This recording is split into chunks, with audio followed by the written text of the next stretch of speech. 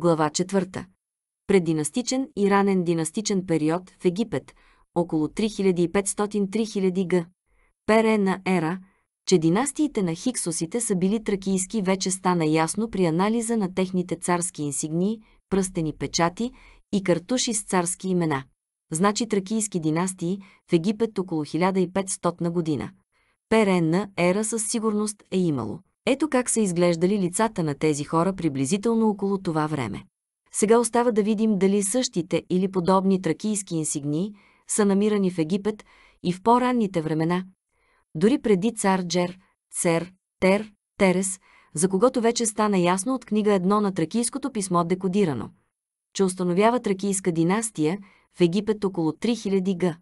Перенна ера. Ако можем да идентифицираме други царски инсигнии на династии от този период като тракийски, то тогава можем да говорим за едно трайно многовековно тракийско присъствие в Египет, което би обяснило огромното културно влияние на траките, което е видно при анализа и сравнението на писмените източници от енеолитна Тракия и тези от Старото до Новото царство по Древен Египет. Търсенето ни се оказва плодоносно, защото сред най-старите египетски артефакти с пиктографски знаци от преддинастичния период 3500-3200 перена ера се откриват наистина такива пиктограми, които носят типичните за тракийските хиксос инсигнии на кучето пастир и тракийския знак, означаващ Тракия и тракийски, което показва, че тракийското присъствие в района около делтата на Р. Нил е на лице много вероятно – още от една много ранна епоха, която предхожда първите династии в Египет. Следният артефакт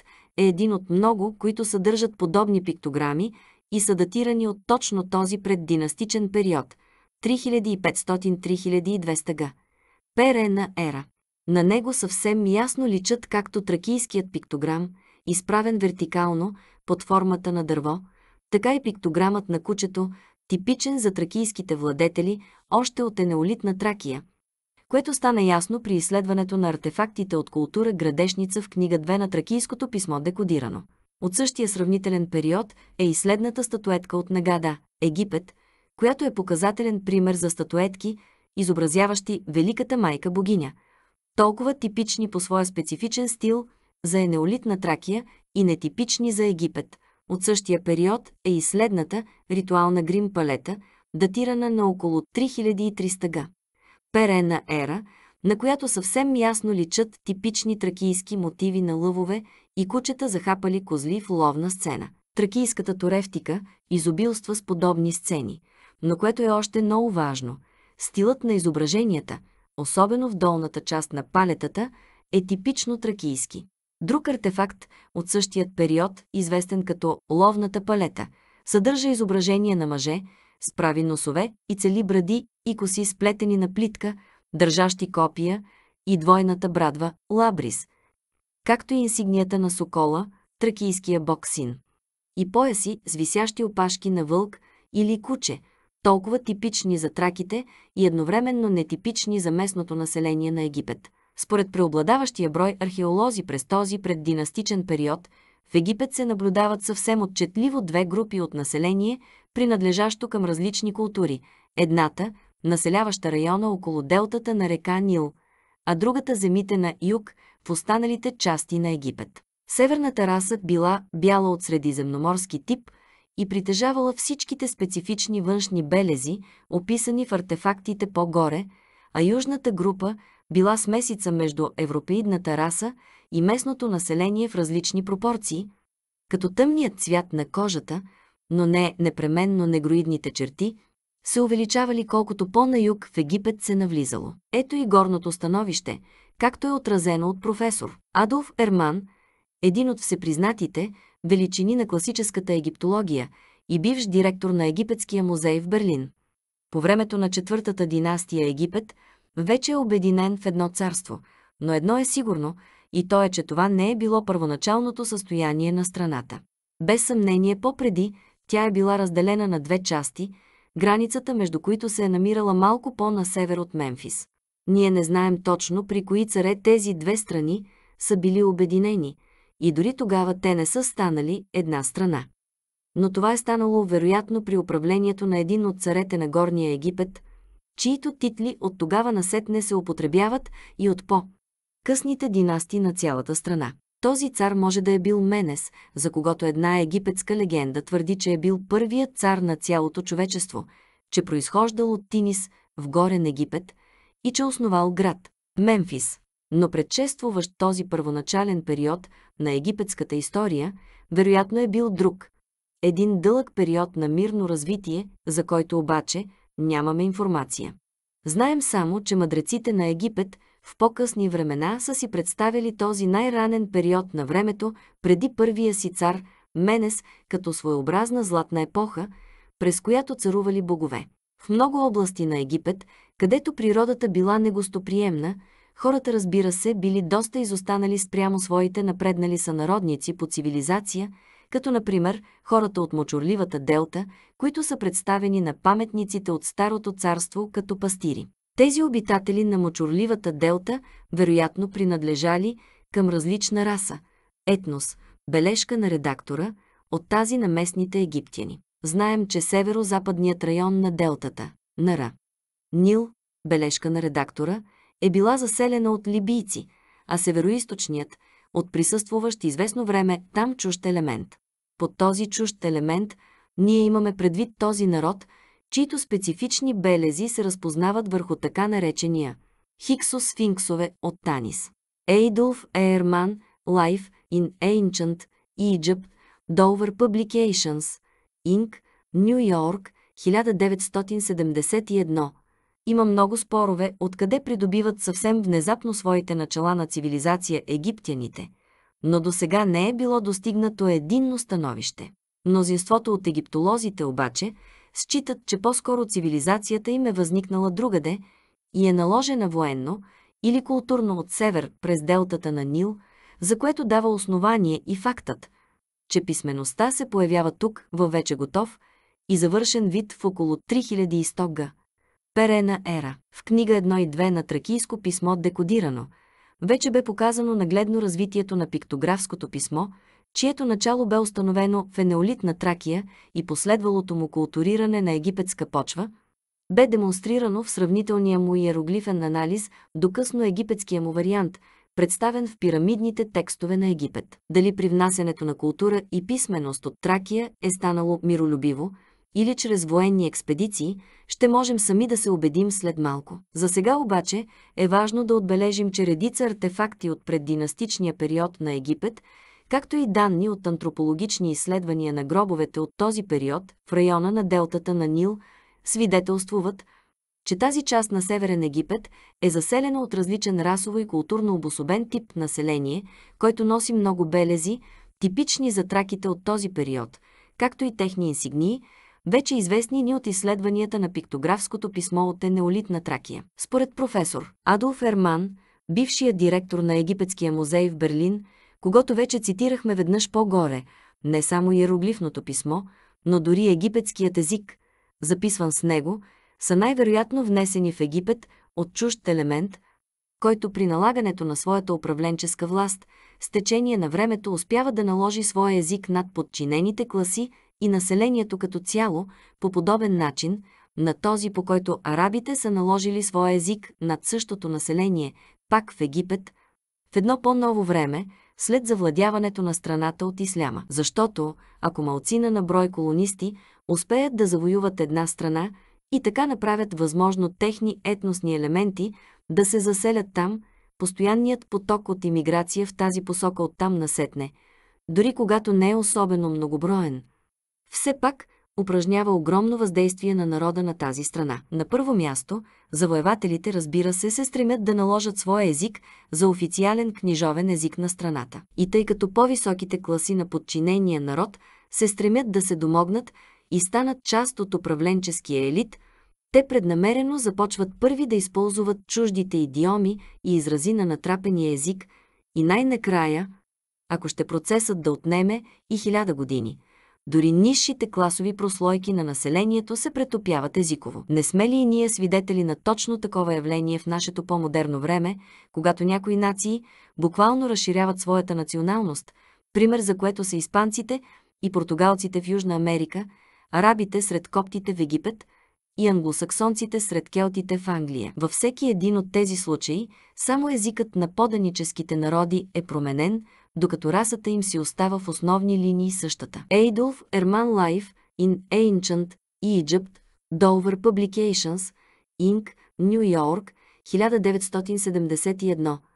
Изводите на професор Ерман са особено ценни за нас, тъй като от тях става видно, че при евентуалното управление на тракийски династии в Египет е могло да настъпи не само известно благотворно влияние от траките към египтяните по посока на писменост, религия и култура, но ако това управление е продължило достатъчно дълго, то би могло да е променило и с основи езика, мисленето и цялото социално поведение на местния подчинен народ, като чрез непрекъснатото нахлуване на имиграционни потоци и влияние, то на практика превръща този народ в едно своеобразно разширение на своята собствена нация. И независимо от това, че днес латиноамериканските нации имат свои различни идентитети от тези на колонизаторските държави, от които са сформирани заедно с местното подчинено население, те все пак наистина са възприели за доминанти езика, книжовността и културата на колонизаторите. Следователно, това, което виждаме като езикови, книжовни и културни еквиваленти в Древен Египет –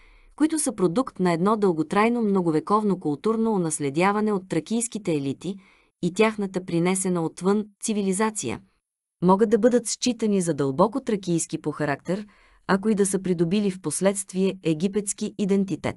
Но да видим дали е имало мирен културен обмен или натрапена с военна сила външна езикова, религиозна и културна хегемония. Когато говорим за такъв древен исторически момент – това, разбира се, е изключително трудно да се установи, особено поради оскъдността на намерените записани исторически данни за събития от това почти митологично време, в което царете са били считани също и за богове, а боговете са били записвани като родоначалници па царските династии. Но все пак, ако имаме някакви данни, то как им точно ни казват те? Ето някои от преддинастичните или ранно династични серекхи, царски инсигнии – бележка на редактора, на неидентифицирани до сега владетели в Северен и Южен Египет, често наричани нулева династия апостроф по W. Кайзър, МДА Първо Римско, Кей 1982. А ето и някои по-основни от тях в по-едър план. Невъзможно е човек да не забележи в колко много от тях може да бъде идентифициран пиктограмът, означаващ Тракия и тракийски – в някои от неговите разновидности, както вече беше подробно разгледано в книга 1. От това, че по това време в Египет властвуват различни владетели, съответно на север от Мемфис и на юг, показва, че през този период на нулевите династии Египет все още не е обединен, но се състои от две отделни страни. Едната на север в областта на Делтата, а другата на юг, в долината по горното течение на Ра, Нил. При по-късните династии когато Египет е вече обединен, неговите фараони се наричат господари на двете страни, което би могло също да означава, че Египет всъщност никога не става една единна държава, но си остава своего рода, федеративен, тип държава, състояща се от две отделни страни, и това е особено ярко изразено през така наречения междинни периоди между Старото, Средното и Новото царства, които се характеризират е политическа слабост и разделение, както и управление по-отделно от различни фараони на Северното и на Южното царство, които си съперничат за надмощие. Това се случва периодически, за цели 1600 години, до 15-та династия, около 1500 година. Перена ера, когато чуждият елемент, хиксосите, царете-пастири, са принудени да напуснат страната окончателно, след което Египет остава относително единна държава за дълъг период от време. И тъй като вече стана ясно в настоящия труд, че името Хиксос е име на тракийските посветени династи, ние знаем, че именно тяхното присъствие в Египет е траяло повече от 1600 години, поне до към 1500 година. Перена ера. Но как точно е започнало тяхното династично начало в Египет или по какъв начин са успели да обединят страната? Чрез мирен съюз между отделните владетели на севера и юга или чрез военна сила? Имаме ли някакви исторически данни и писмени извори от това далечно от нас време, които да хвърлят някаква светлина по въпроса. За щастие има няколко намерени артефакта, които заслужават нашето специално внимание, тъй като всички те свидетелствуват еднопосочно за процеса, по който се установяват първите династии владеещи Обединения Египет. И всички те свидетелствуват за големи военни сблъсъци, в които са представени две противникови групировки с отявлено различни расово-културни белези, както ще можем да се уверим след малко. Едната от тях носи всички белези на местните египтяни, а другата представя чуждия елемент от севера на делтата, който е представен от мъже с прави носове, цели бради и коси сплетени на плитки, все нетипични за местните египтяни расово-културни особености. В следния артефакт, датиран именно от преддинастичния период и представляващ изящна дръжка на нож, изработена от слонова кост, е отразен именно един такъв сблъсък между двете противостоящи общностни групи, описани по-горе, като особено впечатляващ е фактът, че в битката помежду им участвуват и кораби, което подчертава още веднъж, че най-малко едната от тях е група на пришелци, дошли в делтата на Северен Египет по вода, т.е. най-вероятно по море. От изображенията ясно се различават двата различни видове кораби и двата различни типове етноси, общностни групи, които воюват помежду си. На обратната страна на дръжката е изобразен, вероятно водачът на групата победител, който има цяла брада. И изглед нетипичен за египтяните, но напълно типичен за хиксосите и от по-късните времена. Той държи и двата лъва, символизиращи Северен и Южен Египет. Върху горния артефакт ясно личат и двете изображения на кучето пастир от двете страни на владетеля, директно под сцената с лъвовете, което можем да приемем и тук за идентификационен символ от царските инсигнии на тракийските царе-пастири Хиксос. Но това не е единственият артефакт, свидетелствуващ за подобни сблъсъци между двете народностни групировки на Северен и Южен Египет. Следната рисунка, датирана от същия преддинастичен период, потвърждава наличието на битки по вода между плавателни съдове на чуждия и местния елемент през този период. Рисунка от около 3300 г. Перенна ера от гроб Диес 100 при Хиеракополис, изобразяваща битка при делтата на Ра. Нил. Владетелят е изобразен на своя трон под балдахин, навес, показан в по-близък план вдясно. От горния артефакт отново се вижда, че корабите, участвували при тази военна акция, се различават значително едни от други, което доказва, че сблъсъкът не е между еднородни местни племенни групи, но между твърде разнородни общности, каквито, например, са местните хора и чуждите нашественици, като тракийските хиксос, най-ценен запазен исторически запис на конфликта между местния и чуждия елемент си остава ритуалната палета на цар Нармер, която очевидно отразява една от най- големите битки за обединението на Северен и Южен Египет и процеса на установяването на първата династия на Обединен Египет. Тя е намерена през 1898 година от британския археолог Джей И. Куибел в Хиракополис – ПРСД династичната столица на Южен Египет и по всяка вероятност е принадлежала на цар Нармер, който твърде вероятно е бил владетел на юга, който прави първия успешен опит за обединяване на Египет. Ритуалната палета на Нармер. Както е видно от следните фотографии, палетата на Нармер има лицева и обратна страна, които описват уникални събития около обединението на Египет. И на двете страни на палетата е изписан пиктограмът, който представлява името на цар Нармер. Върху обратната й страна е представена сцена, в която цар Нармер, носещ короната на горния Египет, юга, държи за плитката, кичур коса, победен враг, който носи всички външни белези, описани по-горе и характерни за чуждия елемент от Северен Египет.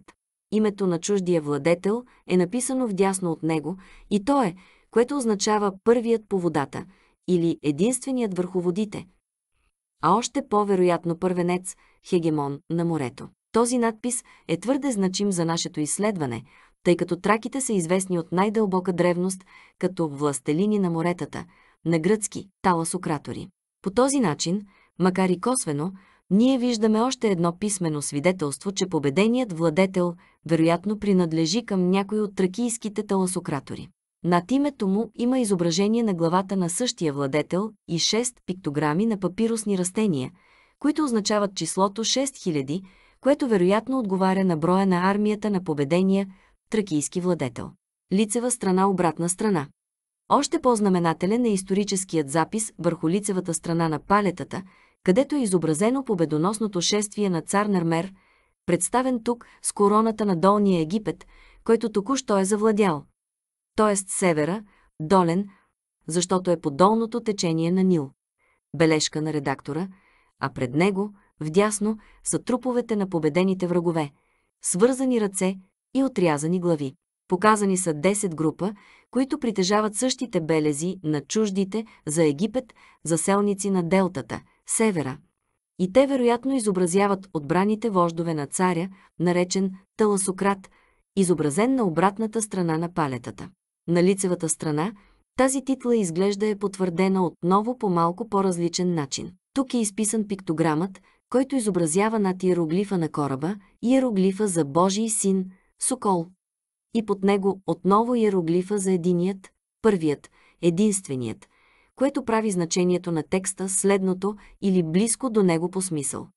Корабът на единствения Божий син или първородния Божий син. Тази битка и това място са били от такова важно стратегическо значение за Египет, че името на цялата тази област, Нома на Египет, остава същото и в по-късните документи на египетската държава и е известно на египтолозите като Мареотис, името на седмата провинция на Долен Египет. Пред пиктограма на Мареотис стои друг, обаче значението на който до сега е било неясно за археолозите и лингвистите, тъй като са го свързали с иероглифа, означаващ врата, и пиктограмът на врабец, които като цяло са мислени от някои авторитети да означават създал врата към този регион, в смисъл, че с победата си Нармер си е отворил пътя към целия регион на делтата. Ако се взрем по-внимателно в изображението на така наречения врата, обаче можем да се убедим, че то не прилича съвсем на иероглифа за врата, ако и да наподобява грубо формата му. Начинът, по който е гравирано върху плочката това изображение, много по-точно съвпада с иероглифа, означаващ Тракия и тракийски, както същият бе вече многократно идентифициран върху различни артефакти в книгите от поредицата Тракийското писмо декодирано. Или до него стои иероглифът, който може да бъде преведен като велик, върховен, ако се вземе предвид думата е това значение, с цялото и фонетично изписване ур. Думата е свързана с царската корона и други инсигнии и също означава цар, уро. Следователно, в горното си съчетание е иероглифа за Тракия, тракийски. Надписът означава Велика Тракия или Тракийският цар. Така целият надпис може да означава, че единственият Божий син, който е в кораба си е цар на Тракия, или че царят на Тракия е единствен, първороден Божий син, или че падналите врагове на Нармер са великите войни на Великата Тракия, с които е корабът, кивотът, на единородния Божий син. Кое от трите значения на текста е имал в предвид майсторът, изработил палетата на Нармер, може би никога не ще узнаем с абсолютна сигурност. Едно е сигурно, обаче, и то е, че надписът касае тракийските династи и заселници в района около делтата на Р. Нил, и че в деня на тази битка те са претърпели голямо поражение от ръката на владетеля на Южен Египет Нармер, който се е разправил жестоко с благородниците на Тракия и техния династ, наречен Таласократ, господар над моретата. В резултат на това, цар Нармер присъединил Северен Египет към своите територии, така провъзгласявайки се за обединител на двете страни, представени на палетата от двете огромни митични животни – най-после вплели своите шии в едно единно цяло.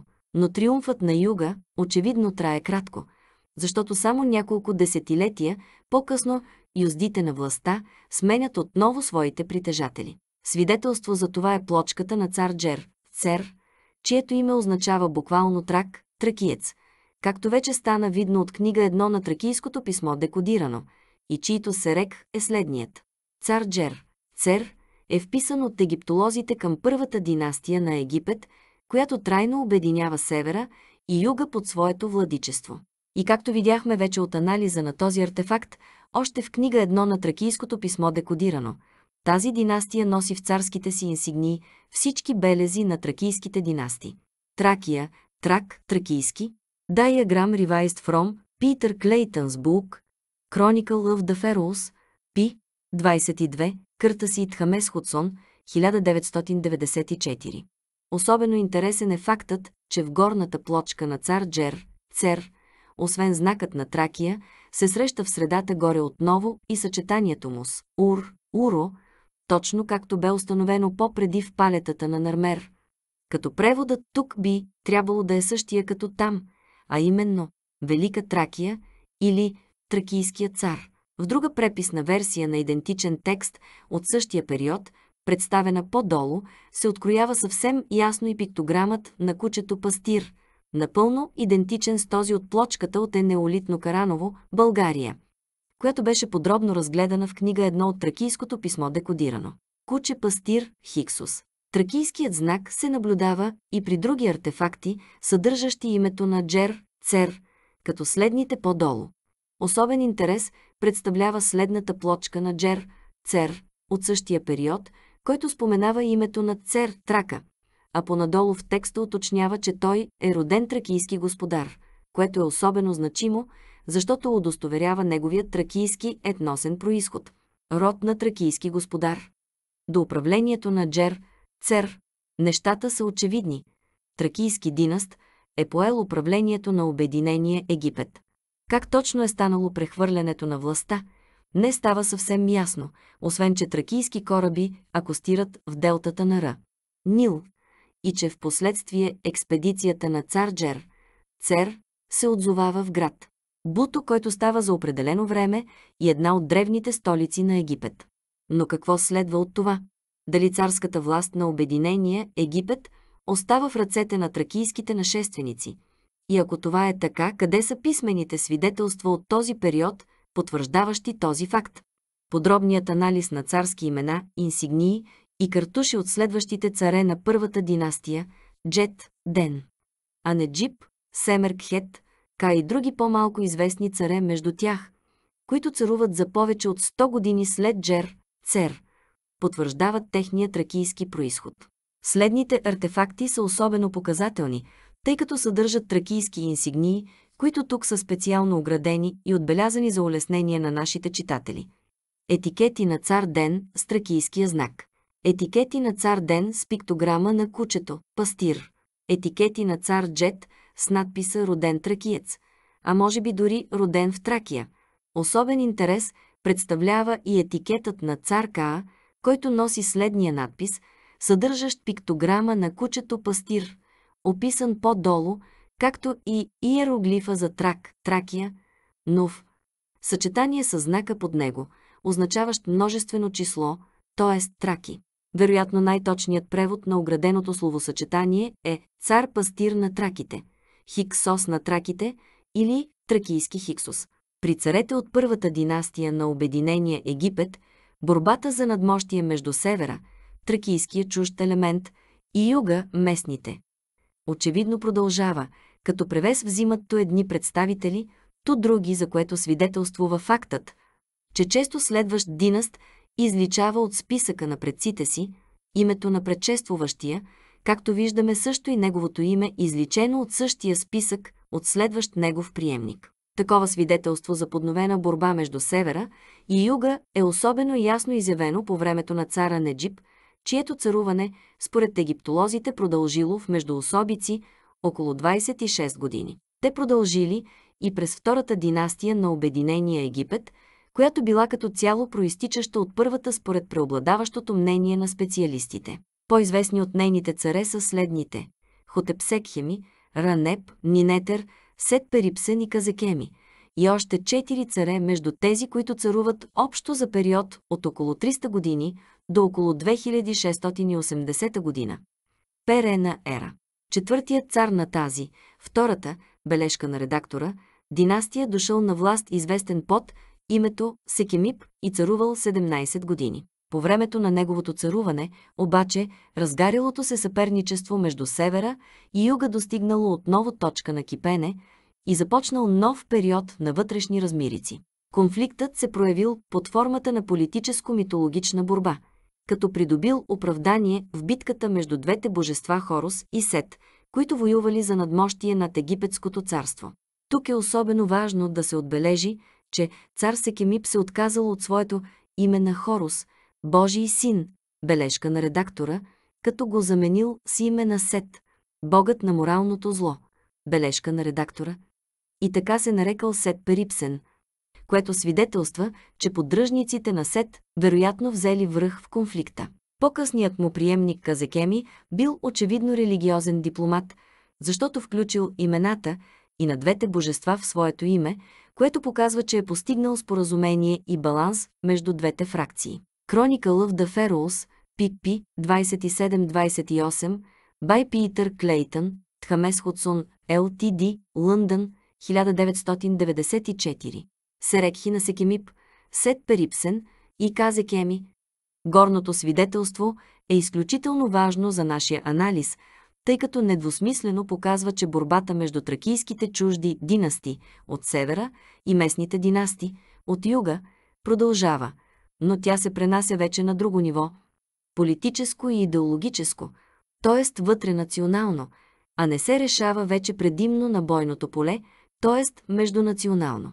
Това доказва, че в този период чуждият елемент, т.е. траките, са успели вече или да интегрират Египет към тракийската средиземноморска общност, или ако това е било само в ограничена степен, то поне са успели да интегрират себе е и своята колонизаторска или имигрантска общност в националната държава на Египет, чрез определени политически и идеологически компромиси между тях и местните лидери на Египет. Както виждаме в този ранен период, пък и в по-късните периоди на историята на Древен Египет, 15-17 династии на Хиксос от 1665-1560 година, перена ера, всеки път, когато тракийските династи изтъкват с гордост своя чужд за Египет происход на посветени царе пастири и се идентифицират в царските си инсигнии с тракийския свещен пиктограм на кучето пастир Сев – те срещат яростен отпор от представителите на местните интереси, които подменят в инсигниите им иероглифа на кучето, пастир, Сев, с този на бога на злото, Сет. За подробности виши страница 89, използвайки грубата прилика между двата пиктограма и техните произношения, с цел да очернят авторитета им сред поданиците и по възможност да идеологизират борбата срещу тях като борба срещу моралното зло – вероятно това става и причината повечето тракийски династи да не парадират под името Хиксус през по-голямата част от историята на Египет, въпреки че представеният в този труд анализ показва, че тяхното етносно присъствие в Египет е продължило повече от 1600 години, от около 3200 га. Перена ера до поне 1570 година, Перена ера когато се счита, че техните династи са напуснали официално и окончателно Египет. С други думи, с Древен Египет се случва това, което се случва и с всички други колонии на велики сили и в по-модерно време. След известен колониален период, през който държавата колонизатор налага своя език, писменост, култура и цивилизация върху своята колония, но не успява да я присъедини към своите териториални граници поради отдалеченост, недостатъчна имиграционна инфилтрация или други причини, в определен исторически момент отгледаният местен елит на колонията повежда борба за изгонване на чуждите управници, която рано или късно се увенчава с успех и постигане на националната независимост на бившата колония. По всичко изглежда, че това се случва и с Древен Египет, който приема подобно на всички колонии културата и цивилизацията на колонизаторите,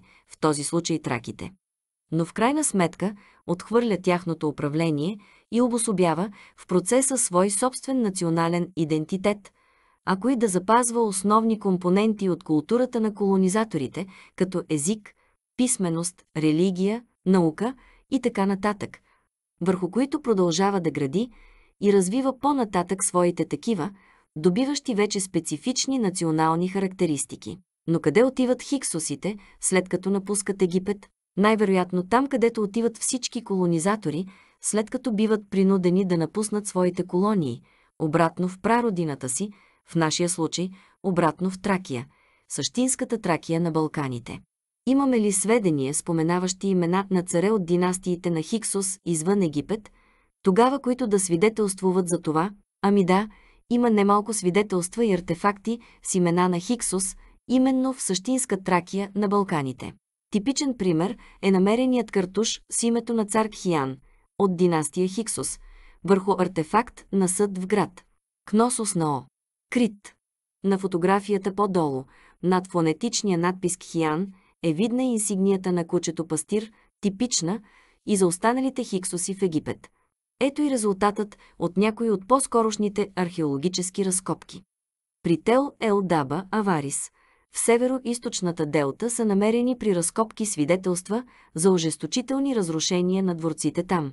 Невероятни фрагменти от стенни фрески в минойски стил, които даже предшествуват минойските фрески в Кносос на остров Крит, са намерени разпръснати в градината на двореца, което доказва жестоката разправа.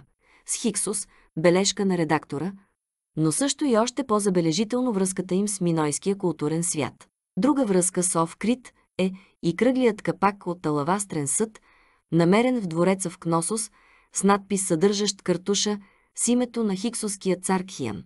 Chronicle of the Pharaohs, P. 94, by Peter Clayton, Тхамес Худсон, Л.Т.Д., Лъндън, 1994. Очевидно е, че Хиксос имат присъствие и на Балканите, още по времето на своето царуване в Египет. Но споменати ли са те по-късно, след 1500 на година, перенна е, когато вече се знае, че са напускали египетската държава. Твърде интересен е в този смисъл записът на Омир в Илиадата относно Троянската война, която е историческо събитие, състояло се непосредствено след този конкретен период 1500 на 1200 на година, перена ера. Там Омир дава сведения за велики тракийски вождове, които заедно със своите войски се бият на страната на троянците, които са техни родственици. Измежду най-отявлените и знатни тракийци е именно цар Резус, на който Омир отделя особено внимание. Интересно е обаче името на царя, което се състои от две срички, първата от които е Рес, Рее, и която е индоевропейска дума, означаваща цар, Рес, Рекс, Регио, точно каквото е и значението на сричката Хик в думата Хиксос. С други думи, твърде вероятно е името Рессос да е балканизираният вариант на словосъчетанието Хиксос, което е факт от изключителна важност, тъй като според мнозина изследователи на Омир в описанията си на царете, участвували в Троянската война, използвайки данни от предшествуваща него традиция. Омир създава сборни образи на племената и етносните групи, участвували в конфликта, а не просто такива на индивидуални владетели, тъй като не е очевидец на събитията. Но дали образът на цар Резус е сборен образ на Хиксоси, те, или е име на индивидуален владетел, съществувал според легендите по това време, не е най-важното. Забележително е, че независимо кой от двата възможни случая е действителният, очевидно името му има идентично значение с това на хиксосите. Още повече, че произношението на втората сричка в него. Сос е съхранена в абсолютно непроменен вид. За това, че цар Резос е тракийски владетел, е категорично засвидетелствано от Омир, което свързва още един път хиксосите с Тракия, този път обаче не с енеолитна Тракия, но е така наречения. Микенска Тракия от едно хилядолетие по-късно време. Името на тракийската царска инсигния – кучето пастир – Сев на свещения диалект и Сос на народния диалект е силно представено и в по-нататъчната по-нова история на траките, от която са вече широко известни на траколозите посветените династи. Носещи името Севта, както и многобройните имена на тракийски топоними, съдържащи окончанието Сос, между които Одесос, Сълмодесос, Писос, тракийските речни имена Хиисос, Арсос апостроф, Беодисос, Тарподисос, Паносос и тракийските лични имена Дорсос, Карсос и Ресос. Всичките систематизирани в книгата на професор В.Л. Георгиев «Траките и техният език». До настоящия труд писмени данни за траките имаше само за периода от Троя насам и то от гръцките източници. Археологическите данни от енеолитна Тракия не се свързваха добре с по-късните данни за Тракия, така наречения Микенска Тракия от средата на второто хилядолетие Перена ера, което създаваше впечатление за схизис, прекъсване. И почва за абсурдни твърдения, поддържани от някои, че траките не са местно население на Балканите, но идват много по-късно, чак през бронзовата епоха. Благодарение на изследванията, представени в тази книга, обаче отделните части на пъзела започват да придобиват вид на една по-ясна, по-цялостна и по-широка картина. С новите данни, след разчитането на тракийските, текстове върху плочките от енеолита от Градешница, Тартария, Караново и Точиларе, както и техните културно-религиозни и писмени еквиваленти в лицето на пирамидните текстове и книгата на мъртвите, в Древен Египет, а също и с установяването на фактите около тракийския происход на династиите, владели Древен Египет в продължение на над 1600 години.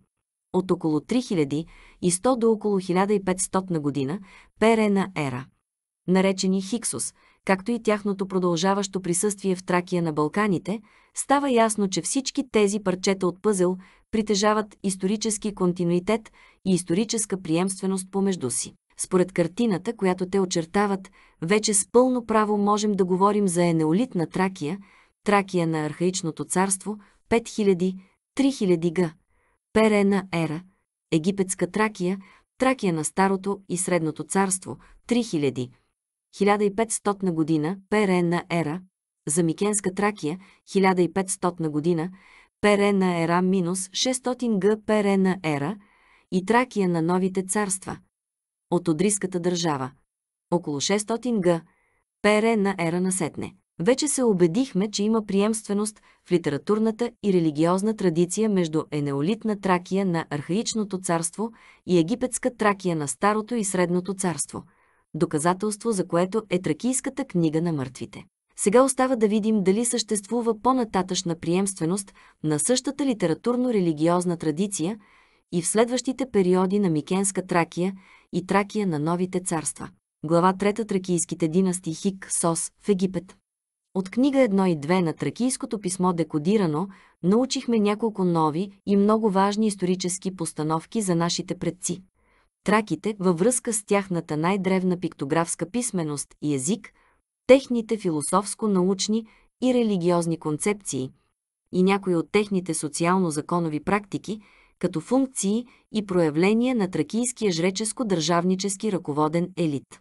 Тези исторически постановки са нови за науката в настоящия момент, именно защото в почти всички досегашни научни търсения и изследвания в областта на тракологията и древната история – най- Старите сведения за траките са били черпени предимно само от древногръцки писмени паметници, чието най-ранни писмени извори, споменаващи траките, са тези на Омир относно събитията на Троянската война, където траките са участвували във войната на страната на Троя срещу гръцките нашественици. И тъй като тези исторически събития са грубо датирани към около 1200 година. Перена ера – преобладаващите мнения относно началата на тракийската цивилизация доскоро бяха, че тя датира на не повече от няколко стотин години преди тези събития, т.е. от една не по-стара древност от около 2000-та година. Перена ера. И с това се изчерпваше парадигмата на класическата тракология. Независимо от множеството нови находки от тракийската древност по нашите земи в последните години, тази остаряла парадигма си стоеше почти непоклатима – тъй като беше твърде удобна за статуквотово разбиране на класическата древност в историята и за вече установените позиции и интереси на мнозина чуждестранни и нашински играчи по управленческите върхове. С разчитането на тракийските пиктографски знаци върху плочите на Орфеевия завет, намерени при енеолитна градешница, Тартария и Караново, виж книга 1 и 2. Обаче, се повдигнаха редица неизбежни и незаобиколими въпроси относно същинската древност на тракийската цивилизация, вече удостоверена от горните артефакти, като присъствие на Балканите от около 5000 г. Перена ера, и относно намирането на други.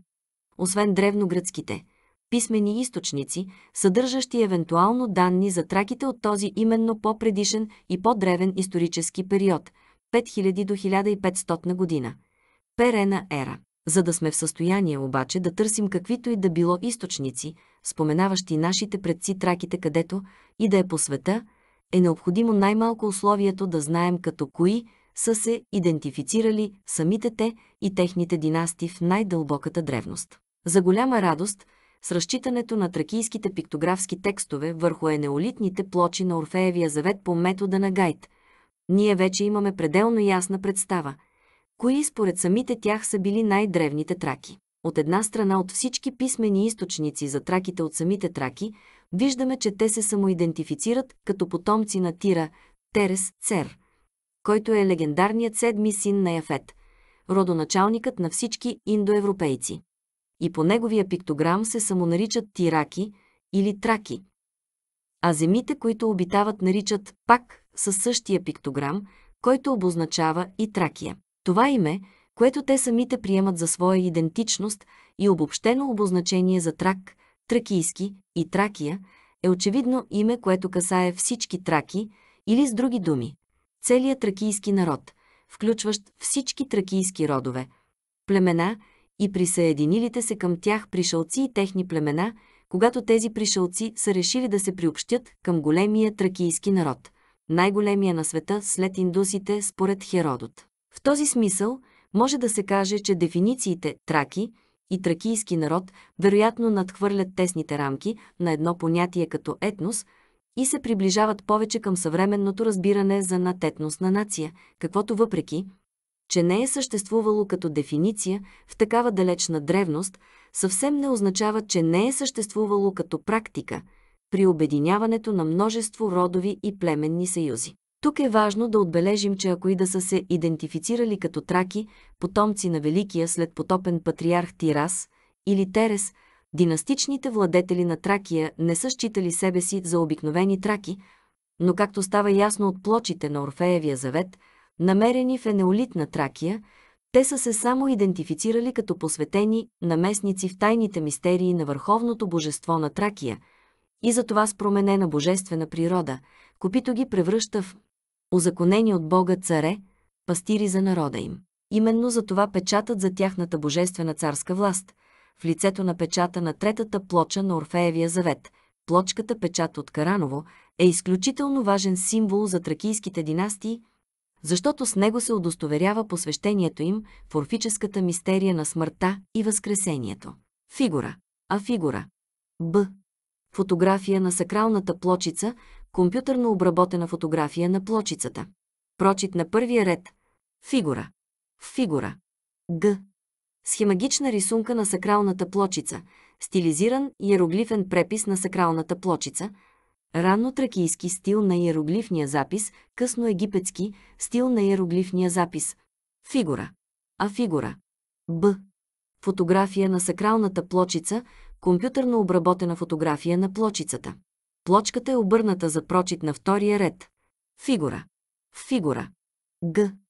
Схематична рисунка на сакралната плочица. Стилизиран иероглифен препис на сакралната плочица.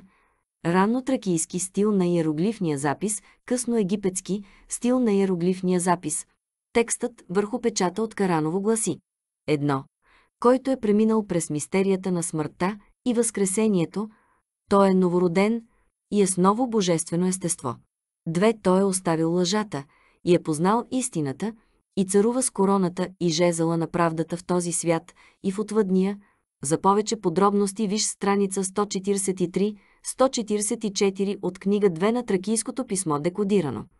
Следователно, при това свое мистериално посвещение, царете на Тракия получават свише новата си божествена природа, която ги превръща в божествени царе-пастири на народа – точно както е изразено и на пиктограма на трансформацията.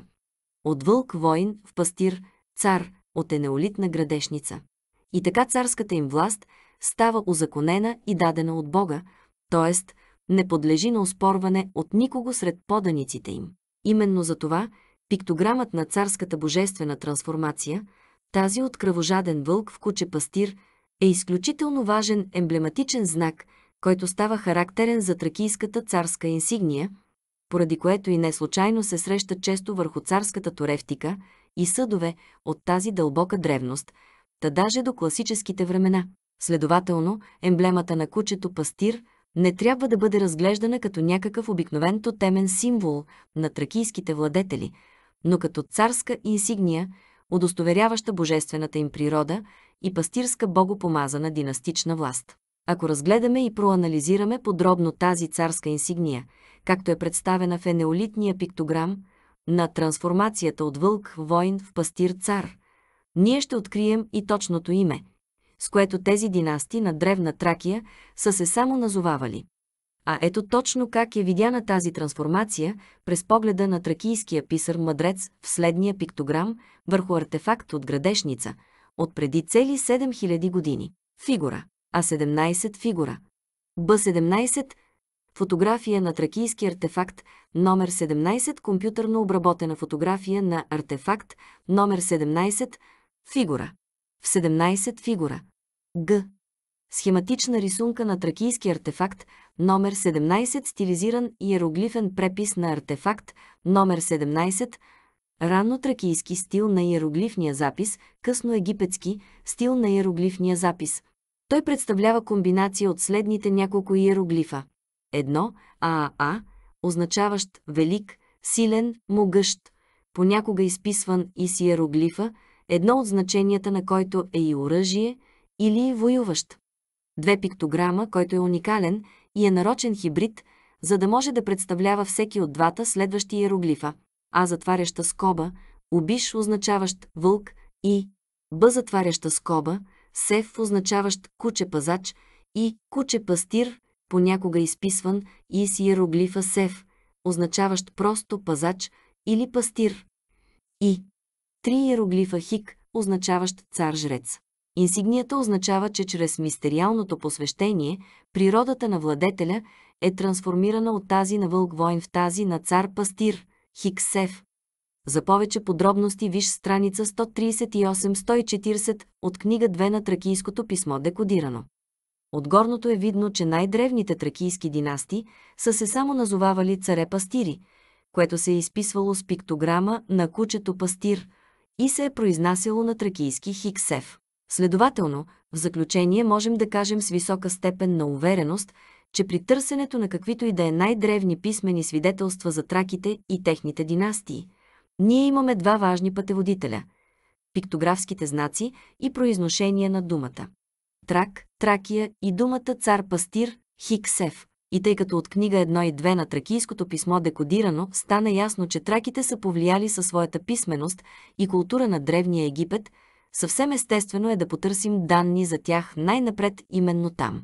И така, има ли някакви други данни, освен плочката на Цер, Джер, от втората династия в Египет, която вече разгледахме подробно в книга 1, които данни да съдържат пиктограма на Тракия или на тракийските царе Хиксев и по този начин да показват тракийско присъствие, намеса или влияние през хилядолетната древноегипетска история, от която до нас са достигнали сравнително богати писмени източници. Ето, че като знаем вече какво точно да търсим. Процесът на нашето лингвистично изследване е значително улеснен, защото в съвременната египтология, ако не Хиксев, то поне името Хик, Сос, е твърде добре известно, и това е името на чужди династии, владели Древен Египет в продължение на векове. А според някои египтолози, даже и на хилядолетия. Но дали тракийските Хик, Сев, царе-пастири, са идентични династиите Хик, Сос в Древен Египет? Ето какво казва по въпроса известният древен египетски историк от Александрия. Мънето, живял около 200 га. Перена ера в своите исторически хроники за фараоните, написани на гръцки язик. 82. Цялата тази нация се наричаше Хиксос, т.е. пастири царе. Защото първата сричка Хик, според свещения диалект, означава цар, а Сос означава пастир, само че на обикновения диалект и от тези две срички се състои думата Хиксос. 84 и тези хора, които ние нарекохме по-преди царе, а също и пастири, и техните потомци, владееха Египет в продължение на 511 години. Цитат от Мането, Джулсифас, Флавиус Джулсифас Against Апион, Булк 1, CH14, The Works of Josephus, translated by William Histon A. M., Hendrickson Publishers, Inc., USA 1987. И тъй от горното става пределно ясно, че царете пастири на Тракия, Хиксев, и царете пастири владели векове наред Египет, Хиксос, са ако не друго, то поне едно и също име, като на тракийския, свещен, диалект, думата пастир се произнася Сев, а на обикновения диалект, според Мането, същата дума се произнася СОС. Независимо как се произнася тази дума, обаче, нейният пиктограм би трябвало да е идентичен или почти идентичен в писмеността и на двата древни езика, след като египетското иероглифно писмо произлиза от тракийското. Както стана ясно от книга 1 и 2 на тракийското писмо декодирано. Ако пък тези Хикс-СОС са се само идентифицирали наистина като траки, е интересно да изследваме дали в техните династични инсигнии се среща някъде и иероглифът, обозначаващ апостроф Тракия. С други думи, нашето лингвистично изследване се свежда до търсене на пиктограма на Тракия и пиктограма за кучето пастир сред царските инсигнии на царете Хиксос в Древен Египет, което би било едно силно доказателство за техния тракийски происход. Да видим дали тези два елемента наистина се срещат сред тези царски инсигнии. При изследването се натъкнахме на известни проблеми. Оказа се, че повечето от артефактите, съдържащи информация за династиите на Хиксос, са били умишлено унищожени още в древността, почти веднага след окончателното принуждаване на чужденците да напуснат страната, с военна сила от местните владетели на новото царство. Според преобладаващото мнение сред египтолозите, гози факт, проистичал от ненависта на древните египтяни към всички чужди владетели в този период и желанието им за самоопределение като отделна независима нация, което ги подтикнало да изличат почти всичко от владичеството на хиксосите. Независимо от горното, все пак много следи от тях са останали. Между артефактите, на които се отдава особено голямо значение от египтолозите, са поименните пръстени печати, сигнет рингс, под формата на скараби, древноегипетски знак за трансформация и сътворение, върху долната страна на които има надписи с имената на владетелите, които са им служили за подпис печат при различни документи. В нашето изследване взимаме в предвид известен брой именно такива артефакти от царуването на Хик Сос, върху които са изписани техни имена, така както са се възприемали и често прилагали и царските картуши, орнаментирани знаци, включващи имената на царете в знака за начало без край. Ето някои ярки представители от този период, които за наша приятна изненада до един съдържат пиктограма, обозначаващ Тракия, тракийски, Трак. На последния печат се чете ясно не само пиктограмът, обозначаващ Тракия, Трак, но също и цялото фонетично буквено сричково съчетание, отразяващо произношението на тази дума. В случая то се чете отгоре надолу и се произнася съответно Трак, Т, Р, А, К или като цяло Трака. Такъв начин на фонетично изписване е съвсем типичен за по-късната епоха в Древен Египет, където вече освен чисто пиктографското, идеограмно, записване на думите, като например трак, т, се прибавя и част от тяхното фонетично произношение, като в това участвуват както пиктограмни букви, например отваряща скоба, р, затваряща скоба, а, така и пиктограмни срички, например к. Подобен е и класическият пример за изписване на думата живот, която в най-стария египетски начин на писане е просто и се произнася онх, а в по-късния египетски към идеограма се прибавя и част от фонетиката, буква по буква. Онх, н, х. Или като цяло, онх. Но изненадите не спират до тук. В един от печатите с караби на Хик Сос от това време, ние можем съвсем ясно да различим до пиктограма за Тракия, Трак, и пиктограма на кучето пастир от царските инсигнии на тракийските владетелите Хик Сев. А този пиктограм не е изобщо рядко срещано явление при Хик сосите от тази епоха. В следните няколко картуша с царски имена ние срещаме следната негова много специфична за хиксосите модификация. Цар Мер, Озер, Ре. Цар се, Озер, Ен, Ре, Хиан. Цар А, Озер, Ре. И тримата от 15-та династия на Хиксос в Египет 1663-1555 година, перена ера.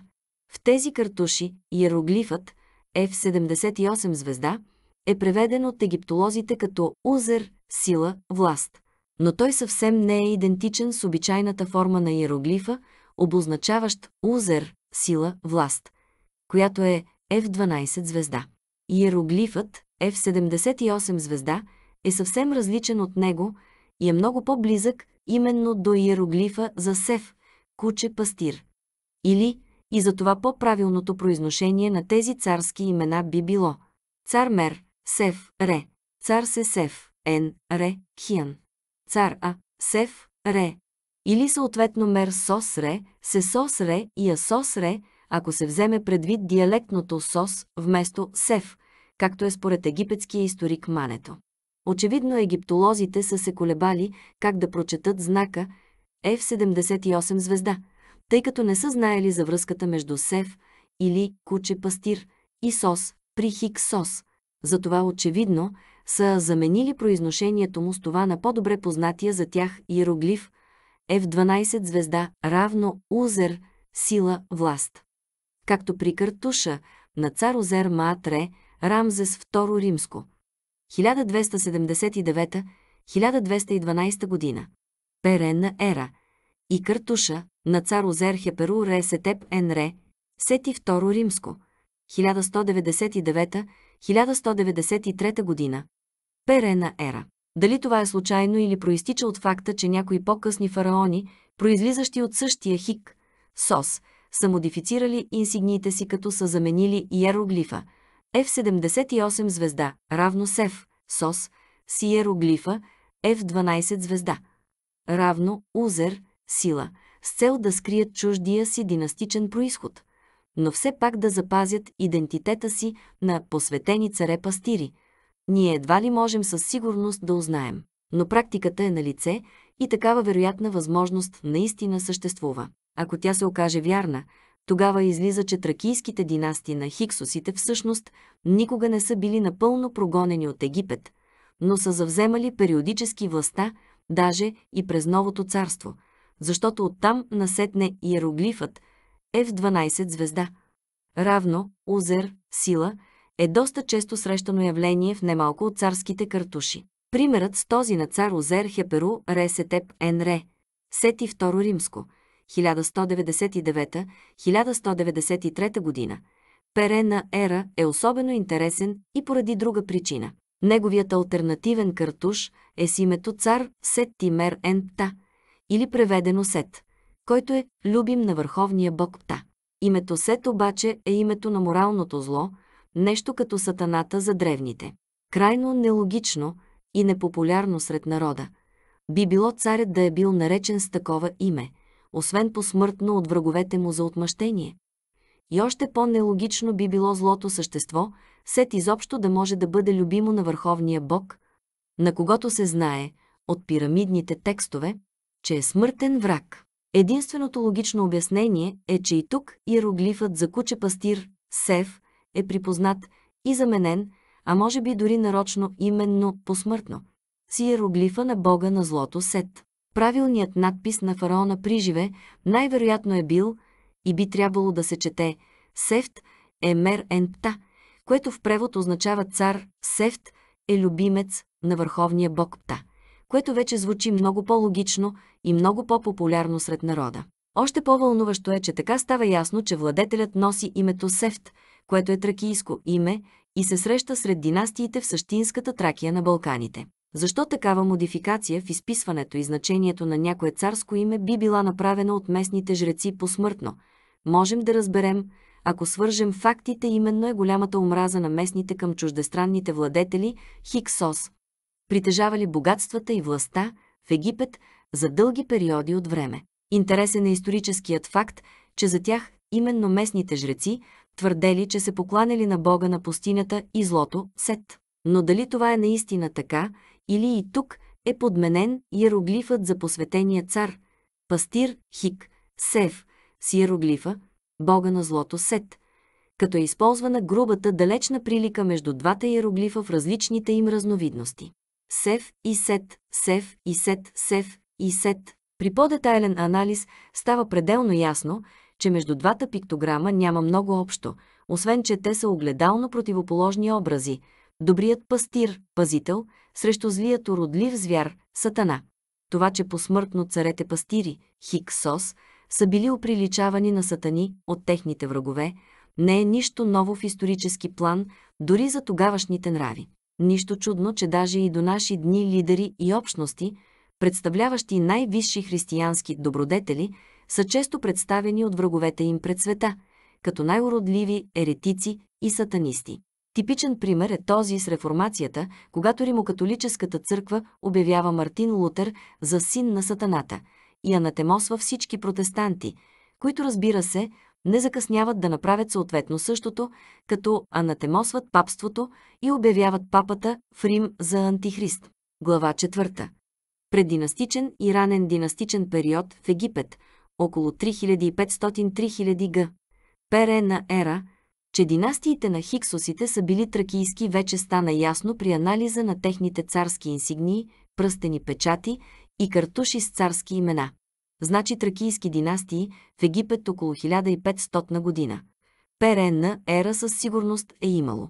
Ето как са изглеждали лицата на тези хора приблизително около това време. Сега остава да видим дали същите или подобни тракийски инсигнии са намирани в Египет и в по-ранните времена, дори преди цар Джер, Цер, Тер, Терес, за когото вече стана ясно от книга едно на тракийското писмо декодирано, че установява тракийска династия в Египет около 3000 г. Перенна ера. Ако можем да идентифицираме други царски инсигнии на династии от този период като тракийски, то тогава можем да говорим за едно трайно многовековно тракийско присъствие в Египет, което би обяснило огромното културно влияние на траките, което е видно при анализа и сравнението на писмените източници от енеолитна Тракия и тези от Старото до Новото царство па Древен Египет. Търсенето ни се оказва плодоносно, защото сред най-старите египетски артефакти с пиктографски знаци от преддинастичния период 3500-3200 пере на ера се откриват наистина такива пиктограми, които носят типичните за тракийските хиксос инсигнии на кучето пастир и тракийския знак, означаващ Тракия и тракийски, което показва, че тракийското присъствие в района около делтата на Р. Нил е на лице много вероятно, още от една много ранна епоха, която предхожда първите династии в Египет. Следният артефакт е един от много, които съдържат подобни пиктограми и са датирани от точно този преддинастичен период 3500-3200 г. Перена ера. На него съвсем ясно личат както тракийският пиктограм, изправен вертикално под формата на дърво, така и пиктограмът на кучето, типичен за тракийските владетели още от енеолитна Тракия, което стана ясно при изследването на артефактите от култура Градешница в книга 2 на тракийското писмо декодирано. От същия сравнителен период е и следната статуетка от Нагада, Египет, която е показателен пример за статуетки, изобразяващи Великата майка богиня, толкова типични по своя специфичен стил за енеолитна Тракия и нетипични за Египет – от същия период е и следната ритуална грим палета, датирана на около 3300 г. Перена ера, на която съвсем ясно личат типични тракийски мотиви на лъвове и кучета захапали козли в ловна сцена. Тракийската турефтика изобилства с подобни сцени, но което е още много важно – стилът на изображенията, особено в долната част на палетата, е типично тракийски. Друг артефакт от същият период, известен като ловната палета, съдържа изображение на мъже с прави носове и цели бради и коси сплетени на плитка, държащи копия и двойната брадва лабрис, както и инсигнията на сокола, тракийския бог син. И пояси с висящи опашки на вълк или куче, толкова типични за траките и едновременно нетипични за местното население на Египет. Според преобладаващия брой археолози през този преддинастичен период, в Египет се наблюдават съвсем отчетливо две групи от население, принадлежащо към различни култури. Едната, населяваща района около делтата на река Нил, а другата земите на юг в останалите части на Египет. Северната раса била бяла от средиземноморски тип и притежавала всичките специфични външни белези, описани в артефактите по-горе, а южната група била смесица между европеидната раса и местното население в различни пропорции, като тъмният цвят на кожата, но не непременно негроидните черти, се увеличавали колкото по-на юг в Египет се навлизало. Ето и горното становище, както е отразено от професор Адолф Ерман, един от всепризнатите величини на класическата египтология и бивш директор на Египетския музей в Берлин. По времето на четвъртата династия Египет – вече е обединен в едно царство, Но едно е сигурно, и то е, че това не е било първоначалното състояние на страната. Без съмнение, попреди тя е била разделена на две части, границата между които се е намирала малко по-на север от Мемфис. Ние не знаем точно при кои царе тези две страни са били обединени и дори тогава те не са станали една страна.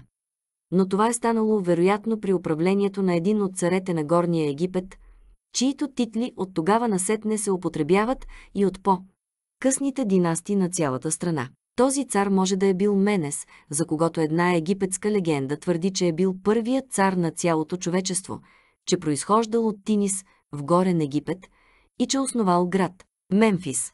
Но предшествуващ този първоначален период на египетската история, вероятно е бил друг. Един дълъг период на мирно развитие, за който обаче нямаме информация. Знаем само, че мъдреците на Египет в по-късни времена са си представили този най-ранен период на времето преди първия си цар Менес като своеобразна златна епоха, през която царували богове. В много области на Египет, където природата била негостоприемна, хората, разбира се, били доста изостанали спрямо своите напреднали сънародници по цивилизация, като например хората от мочурливата делта, които са представени на паметниците от Старото царство като пастири. Тези обитатели на мочурливата делта вероятно принадлежали към различна раса, етнос, бележка на редактора, от тази на местните египтяни. Знаем, че северо-западният район на делтата, Нара, Нил, бележка на редактора, е била заселена от либийци, а североизточният – от присъствуващ известно време там чужд елемент. Под този чужд елемент ние имаме предвид този народ, чието специфични белези се разпознават върху така наречения хиксосфинксове от Танис. Ейдулф Ейерман, Life in Ancient Egypt, Dover Publications, Inc., Нью Йорк, 1971. Има много спорове, откъде придобиват съвсем внезапно своите начала на цивилизация египтяните, но до сега не е било достигнато единно становище. Мнозинството от египтолозите обаче считат, че по-скоро цивилизацията им е възникнала другаде и е наложена военно или културно от север през делтата на Нил, за което дава основание и фактът, че писмеността се появява тук във вече готов и завършен вид в около 3100 г. Перена ера. В книга 1 и 2 на тракийско писмо декодирано, вече бе показано нагледно развитието на пиктографското писмо, чието начало бе установено в енеолитна Тракия и последвалото му културиране на египетска почва, бе демонстрирано в сравнителния му иероглифен анализ до късно египетския му вариант, представен в пирамидните текстове на Египет. Дали при внасянето на култура и писменост от Тракия е станало миролюбиво, или чрез военни експедиции, ще можем сами да се убедим след малко.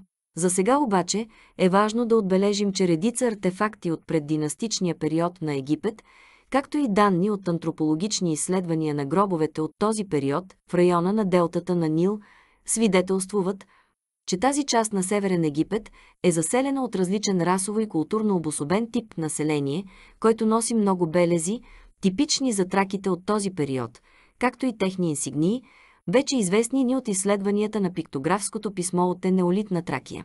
Според професор Адолф Ерман, бившия директор на Египетския музей в Берлин, когато вече цитирахме веднъж по-горе, не само иероглифното писмо, но дори египетският език, записван с него, са най-вероятно внесени в Египет от чужд елемент, който при налагането на своята управленческа власт с течение на времето успява да наложи своя език над подчинените класи и населението като цяло по подобен начин на този, по който арабите са наложили своя език над същото население, пак в Египет, в едно по-ново време, след завладяването на страната от исляма. Защото, ако малцина на брой колонисти успеят да завоюват една страна и така направят възможно техни етносни елементи да се заселят там, постоянният поток от имиграция в тази посока оттам насетне, дори когато не е особено многоброен – все пак упражнява огромно въздействие на народа на тази страна.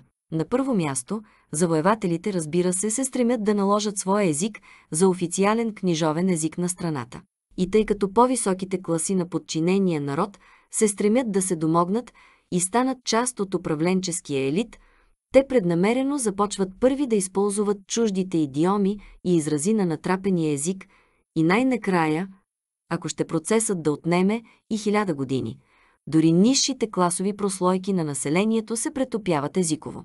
Не сме ли и ние свидетели на точно такова явление в нашето по-модерно време, когато някои нации буквално разширяват своята националност, пример за което са испанците и португалците в Южна Америка, арабите сред коптите в Египет и англосаксонците сред келтите в Англия. Във всеки един от тези случаи, само езикът на поданическите народи е променен, докато расата им си остава в основни линии същата. Adolf Ерман Life in Ancient Egypt Dover Publications, Inc., Нью Йорк, 1971. Изводите на професор Ерман са особено ценни за нас, тъй като от тях става видно, че при евентуалното управление на тракийски династии в Египет е могло да настъпи не само известно благотворно влияние от траките към египтяните по посока на писменост, религия и култура, но ако това управление е продължило достатъчно дълго, то би могло да е променило и с основи езика, мисленето и цялото социално поведение на местния подчинен народ, като чрез непрекъснатото нахлуване на имиграционни потоци и влияние, то на практика превръща този народ в едно своеобразно разширение на своята собствена нация. И независимо от това, че днес латиноамериканските нации имат свои различни идентитети от тези на колонизаторските държави, от които са сформирани заедно с местното подчинено население – те все пак наистина са възприели за доминанти езика, книжовността и културата на колонизаторите. Следователно, това, което виждаме като езикови, книжовни и културни еквиваленти в Древен Египет, които са продукт на едно дълготрайно многовековно културно унаследяване от тракийските елити и тяхната принесена отвън цивилизация, могат да бъдат считани за дълбоко тракийски по характер, ако и да са придобили в последствие египетски идентитет но да видим дали е имало мирен културен обмен или натрапена с военна сила външна езикова, религиозна и културна хегемония. Когато говорим за такъв древен исторически момент, това разбира се е изключително трудно да се установи, особено поради оскъдността на намерените записани исторически данни за събития от това почти митологично време, в което царете са били считани също и за богове, а боговете са били записвани като родоначалници па царските династии. Но все пак, ако имаме някакви данни, то как им точно ни казват те? Ето някои от преддинастичните или ранно-династични серекхи, царски инсигнии, бележка на редактора, на неидентифицирани до сега владетели в Северен и Южен Египет, често наричани нулева династия апостроф, по W. Кайзър, МДА Първо Римско, Кей 1982. А ето и някои по-основни от тях в по-едър план. Невъзможно е човек да не забележи в колко много от тях може да бъде идентифициран пиктограмът, означаващ Тракия и Тракийски, в някои от неговите разновидности, както вече беше подробно разгледано в книга 1.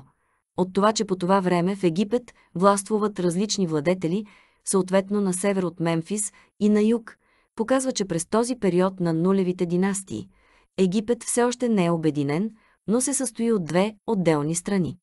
Едната на север в областта на Делтата, а другата на юг, в долината по горното течение на Ра, Нил.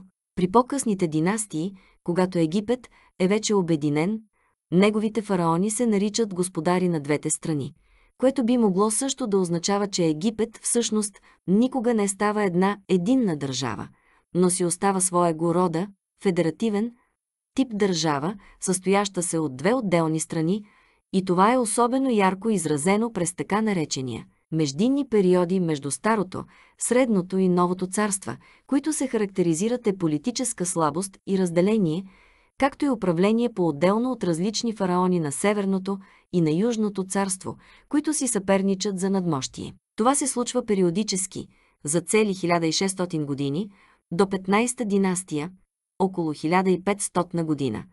Перена ера, когато чуждият елемент, хиксосите, царете-пастири, са принудени да напуснат страната окончателно, след което Египет остава относително единна държава за дълъг период от време. И тъй като вече стана ясно в настоящия труд, че името Хиксос е име на тракийските посветени династи, Ние знаем, че именно тяхното присъствие в Египет е траяло повече от 1600 години, поне до към 1500 година.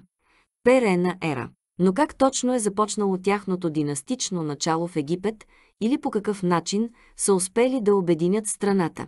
Чрез мирен съюз между отделните владетели на севера и юга или чрез военна сила? Имаме ли някакви исторически данни и писмени извори от това далечно от нас време, които да хвърлят някаква светлина по въпроса? За щастие има няколко намерени артефакта, които заслужават нашето специално внимание – тъй като всички те свидетелствуват еднопосочно за процеса, по който се установяват първите династии владеещи Обединения Египет. И всички те свидетелствуват за големи военни сблъсъци, в които са представени две противникови групировки с отявлено различни расово-културни белези, както ще можем да се уверим след малко. Едната от тях носи всички белези на местните египтяни, а другата представя чуждия елемент от севера на делтата, който е представен от мъже с прави носове, цели бради и коси сплетени на плитки, все нетипични за местните египтяни расово-културни особености. В следния артефакт, датиран именно от преддинастичния период и представляващ изящна дръжка на нож, изработена от слонова кост, е отразен именно един такъв сблъсък между двете противостоящи общностни групи, описани по-горе, като особено впечатляващ е фактът, че в битката помежду им участвуват и кораби, което подчертава още веднъж, че най-малко едната от тях е група на пришелци, дошли в делтата на Северен Египет по вода, т.е. най-вероятно по море. От изображенията ясно се различават двата различни видове кораби и двата различни типове етноси, общностни групи, които воюват помежду си. На обратната страна на дръжката е изобразен, вероятно водачът на групата победител, който има цяла брада и изглед нетипичен за египтяните, но напълно типичен за хиксосите и от по-късните времена. Той държи и двата лъва, символизиращи Северен и Южен Египет. Върху горния артефакт ясно личат и двете изображения на кучето пастир от двете страни на владетеля, директно под сцената с лъвовете, което можем да приемем и тук за идентификационен символ от царските инсигнии на тракийските царе-пастири Хиксос. Но това не е единственият артефакт, свидетелствуващ за подобни сблъсъци между двете народностни групировки на Северен и Южен Египет. Следната рисунка, датирана от същия преддинастичен период, потвърждава наличието на битки по вода между плавателни съдове на чуждия и местния елемент през този период. Рисунка от около 3300 г. Перенна ера от гроб Диес 100 при Хиеракополис, изобразяваща битка при делтата на Ра. Нил.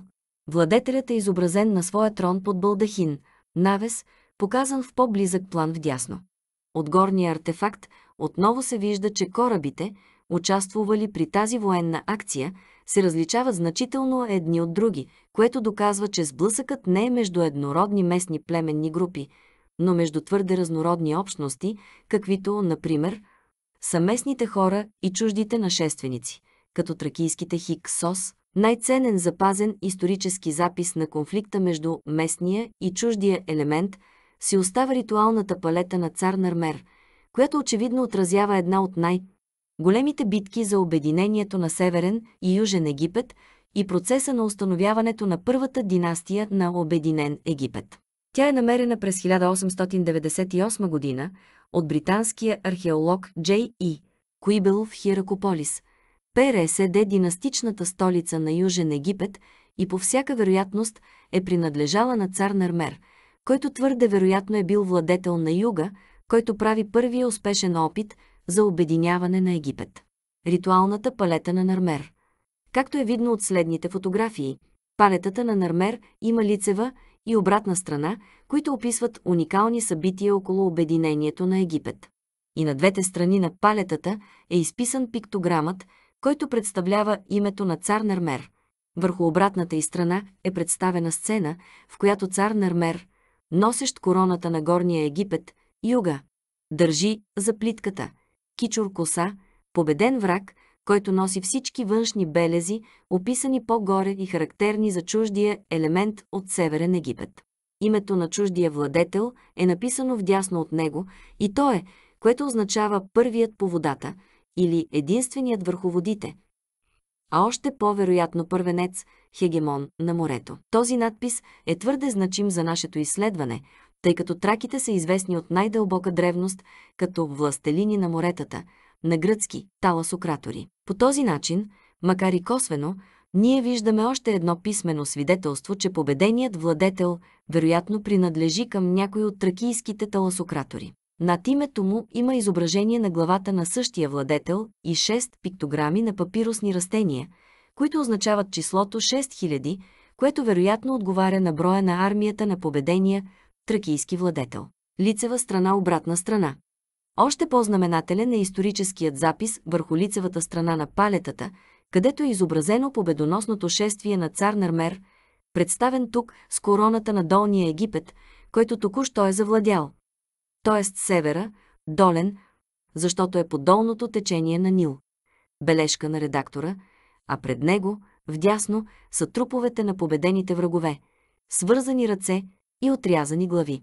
Показани са 10 група, които притежават същите белези на чуждите за Египет заселници на делтата, севера. И те вероятно изобразяват отбраните вождове на царя, наречен Таласократ, изобразен на обратната страна на палетата.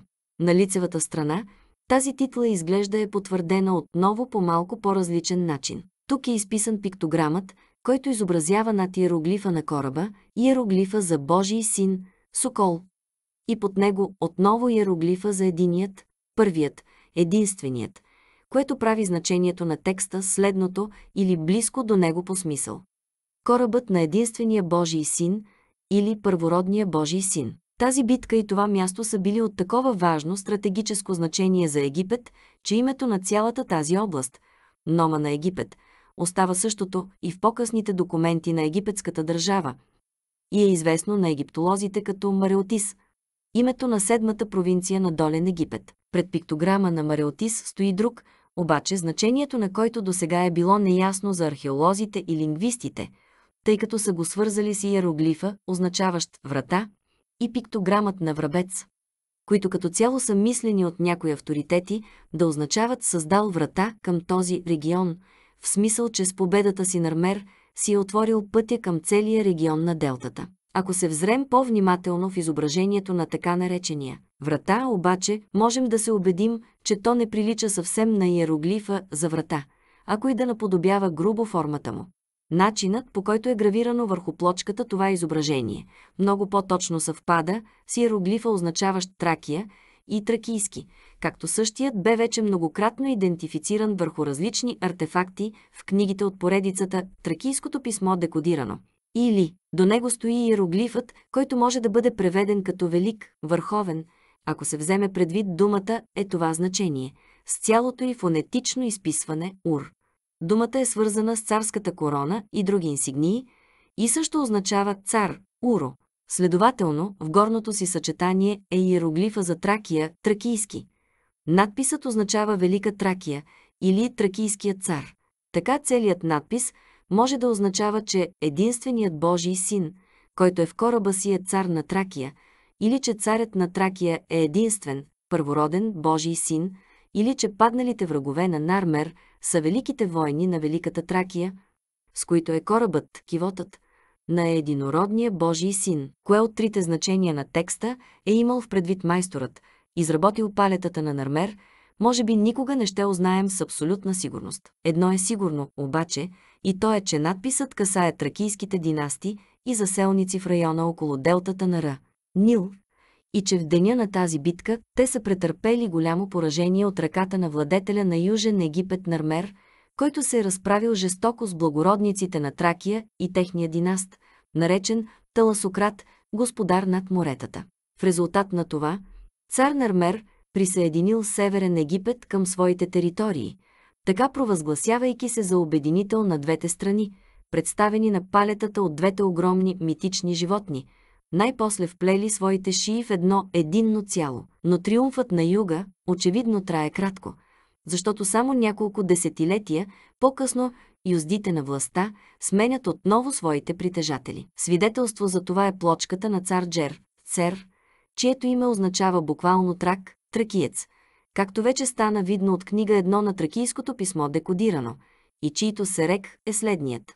Цар Джер, Цер, е вписан от египтолозите към първата династия на Египет, която трайно обединява севера и юга под своето владичество. И както видяхме вече от анализа на този артефакт, още в книга едно на тракийското писмо декодирано.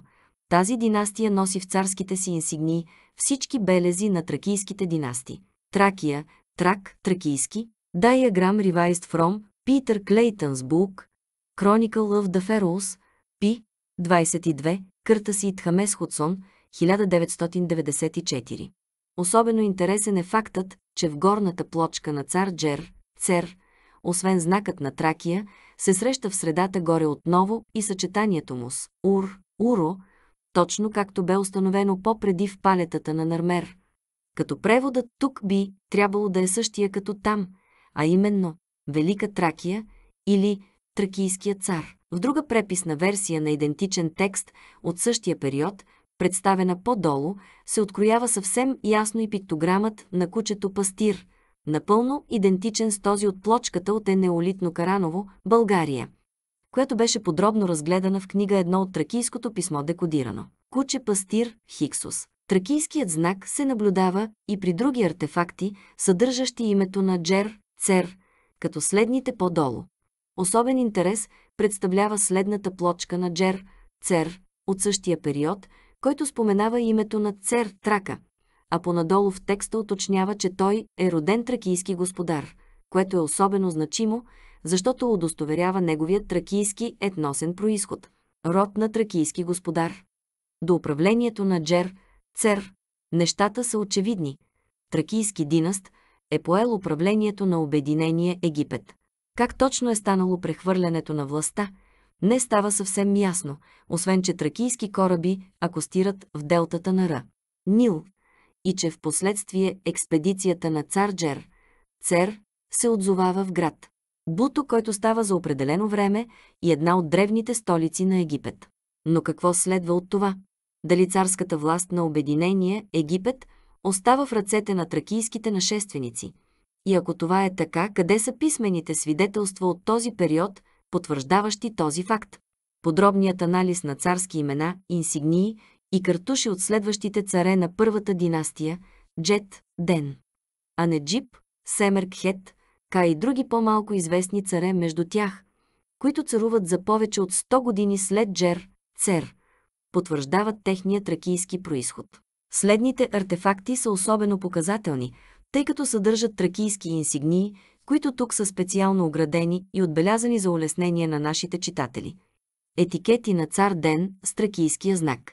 Етикети на цар Ден с пиктограма на кучето, пастир. Етикети на цар Джет с надписа Роден тракиец, а може би дори роден в Тракия. Особен интерес представлява и етикетът на цар Каа, който носи следния надпис, съдържащ пиктограма на кучето пастир, описан по-долу, както и иероглифа за Трак, Тракия, Нов, съчетание с знака под него, означаващ множествено число, т.е. Траки. Вероятно най-точният превод на ограденото словосъчетание е цар-пастир на траките, хиксос на траките или тракийски хиксос. При царете от първата династия на Обединение Египет, борбата за надмощие между севера, тракийския чужд елемент, и юга, местните. Очевидно продължава, като превес взимат то едни представители, то други, за което свидетелствува фактът, че често следващ династ изличава от списъка на предците си името на предшествуващия, както виждаме също и неговото име изличено от същия списък от следващ негов приемник. Такова свидетелство за подновена борба между севера и юга е особено ясно изявено по времето на цара Неджип, чието царуване, според египтолозите, продължило в междуособици около 26 години. Те продължили и през втората династия на Обединения Египет, която била като цяло проистичаща от първата според преобладаващото мнение на специалистите. По-известни от нейните царе са следните – Хотепсекхеми, Ранеп, Нинетер, Сет Перипсен и Казекеми и още четири царе между тези, които царуват общо за период от около 300 години до около 2680 година. Перена ера. Четвъртият цар на тази, втората, бележка на редактора, династия дошъл на власт известен под името Секемип и царувал 17 години. По времето на неговото царуване, обаче, разгарилото се съперничество между севера и юга достигнало отново точка на кипене и започнал нов период на вътрешни размирици. Конфликтът се проявил под формата на политическо-митологична борба, като придобил оправдание в битката между двете божества Хорус и Сет, които воювали за надмощие над Египетското царство. Тук е особено важно да се отбележи, че цар Секемип се отказал от своето име на Хорус, Божий син, бележка на редактора, като го заменил с име на Сет, богът на моралното зло, бележка на редактора, и така се нарекал Сет Перипсен, което свидетелства, че поддръжниците на Сет вероятно взели връх в конфликта. По-късният му приемник Казекеми бил очевидно религиозен дипломат, защото включил имената и на двете божества в своето име, което показва, че е постигнал споразумение и баланс между двете фракции. Chronicle of the Pharaohs, pp. 27-28, by Peter Clayton, Тхамес Ходсон, LTD, Лъндън, 1994. Серекхи на Секемип, Сет Перипсен и Казекеми. Горното свидетелство е изключително важно за нашия анализ, тъй като недвусмислено показва, че борбата между тракийските чужди династи от севера и местните династи от юга продължава, но тя се пренася вече на друго ниво – политическо и идеологическо, т.е. вътренационално, а не се решава вече предимно на бойното поле, т.е. междунационално. Това доказва, че в този период чуждият елемент, т.е. траките, са успели вече или да интегрират Египет към тракийската средиземноморска общност, или ако това е било само в ограничена степен, то поне са успели да интегрират себе е и своята колонизаторска или имигрантска общност в националната държава на Египет, чрез определени политически и идеологически компромиси между тях и местните лидери на Египет. Както виждаме в този ранен период, пък и в по-късните периоди на историята на Древен Египет, 15-17 династии на Хиксус от 1665-1560 година, Перена ера, всеки път, когато тракийските династи изтъкват с гордост своя чужд за Египет происход на посветени царе пастири и се идентифицират в царските си инсигнии с тракийския свещен пиктограм на кучето пастир Сев – те срещат яростен отпор от представителите на местните интереси, които подменят в инсигниите им иероглифа на кучето, пастир, Сев, с този на бога на злото, Сет. За подробности виши страница 89, използвайки грубата прилика между двата пиктограма и техните произношения, с цел да очернят авторитета им сред поданиците и по възможност да идеологизират борбата срещу тях като борба срещу моралното зло – вероятно това става и причината повечето тракийски династи да не парадират под името Хиксус през по-голямата част от историята на Египет, въпреки че представеният в този труд анализ показва, че тяхното етносно присъствие в Египет е продължило повече от 1600 години, от около 3200 га. Пере на ера до поне 1570 година, пере на ера когато се счита, че техните династи са напуснали официално и окончателно Египет. С други думи, с Древен Египет се случва това, което се случва и с всички други колонии на велики сили и в по-модерно време.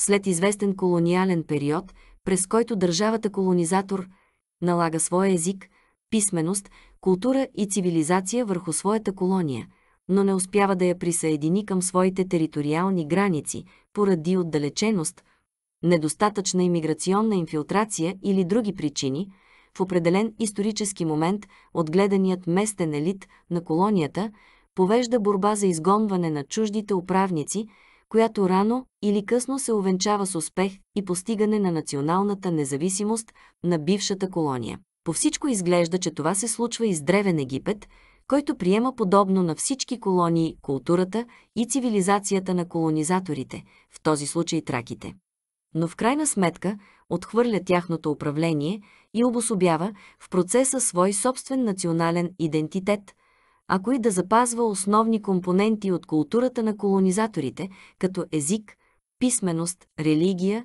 наука и така нататък, върху които продължава да гради и развива по-нататък своите такива, добиващи вече специфични национални характеристики. Но къде отиват хиксосите, след като напускат Египет? Най-вероятно там, където отиват всички колонизатори, след като биват принудени да напуснат своите колонии, обратно в прародината си, в нашия случай обратно в Тракия, същинската Тракия на Балканите. Имаме ли сведения, споменаващи имената на царе от династиите на Хиксос извън Египет, тогава които да свидетелствуват за това? Ами да, има немалко свидетелства и артефакти с имена на Хиксос, именно в същинска Тракия на Балканите. Типичен пример е намереният картуш с името на цар Кхиян от династия Хиксос върху артефакт на съд в град. Кносос на О. Крит. На фотографията по-долу, над фонетичния надпис Кхиян, е видна инсигнията на кучето пастир, типична и за останалите хиксоси в Египет. Ето и резултатът от някои от по-скорошните археологически разкопки. При Тел Ел Даба, Аварис, в северо-источната делта са намерени при разкопки свидетелства за ожесточителни разрушения на дворците там. Невероятни фрагменти от стенни фрески в минойски стил, които даже предшествуват минойските фрески в Кносос на остров Крит, са намерени разпръснати в градината на двореца, което доказва жестоката разправа. С Хиксус, бележка на редактора, но също и още по-забележително връзката им с минойския културен свят. Друга връзка с Овкрит е и кръглият капак от алавастрен съд, намерен в двореца в Кносос, с надпис съдържащ картуша с името на хиксовския цар Кхиан. Кроника Love the Pharaohs, P. 94, by Питър Клейтън, Тхамес Ходсон, Л.Т.Д., Лъндън, 1994. Очевидно е, че Хиксос имат присъствие и на Балканите, още по времето на своето царуване в Египет. Но споменати ли са те по-късно, след 1500 година, перенна е, когато вече се знае, че са напускали египетската държава. Твърде интересен е в този смисъл записът на Омир в Илиадата относно Троянската война, която е историческо събитие, състояло се непосредствено след този конкретен период 1500 на 1200 година, перена ера. Там Омир дава сведения за велики тракийски вождове, които заедно със своите войски се бият на страната на троянците, които са техни родственици. Измежду най-отявлените и знатни тракийци е именно цар Резус, на който Омир отделя особено внимание. Интересно е обаче името на царя, което се състои от две срички, първата от които е Рес, Рее, и която е индоевропейска дума, означаваща цар, Рес, Рекс, Регио, точно каквото е и значението на сричката Хик в думата Хиксос. С други думи, твърде вероятно е името Рессос да е балканизираният вариант на словосъчетанието Хиксос, което е факт от изключителна важност, тъй като според мнозина изследователи на Омир в описанията си на царете, участвували в Троянската война, използвайки данни от предшествуваща него традиция. Омир създава сборни образи на племената и етносните групи, участвували в конфликта, а не просто такива на индивидуални владетели, тъй като не е очевидец на събитията. Но дали образът на цар Резус е сборен образ на Хиксоси, те, или е име на индивидуален владетел, съществувал според легендите по това време, не е най-важното. Забележително е, че независимо кой от двата възможни случая е действителният, очевидно името му има идентично значение с това на хиксосите. Още повече, че произношението на втората сричка в него. Сос е съхранена в абсолютно непроменен вид. За това, че цар Резос е тракийски владетел, е категорично засвидетелствано от Омир, което свързва още един път хиксосите с Тракия, този път обаче не с енеолитна Тракия, но е така наречения. Микенска Тракия от едно хилядолетие по-късно време. Името на тракийската царска инсигния – кучето пастир, Сев на свещения диалект и Сос на народния диалект е силно представено и в по-нататъчната по-нова история на траките, от която са вече широко известни на траколозите посветените династи.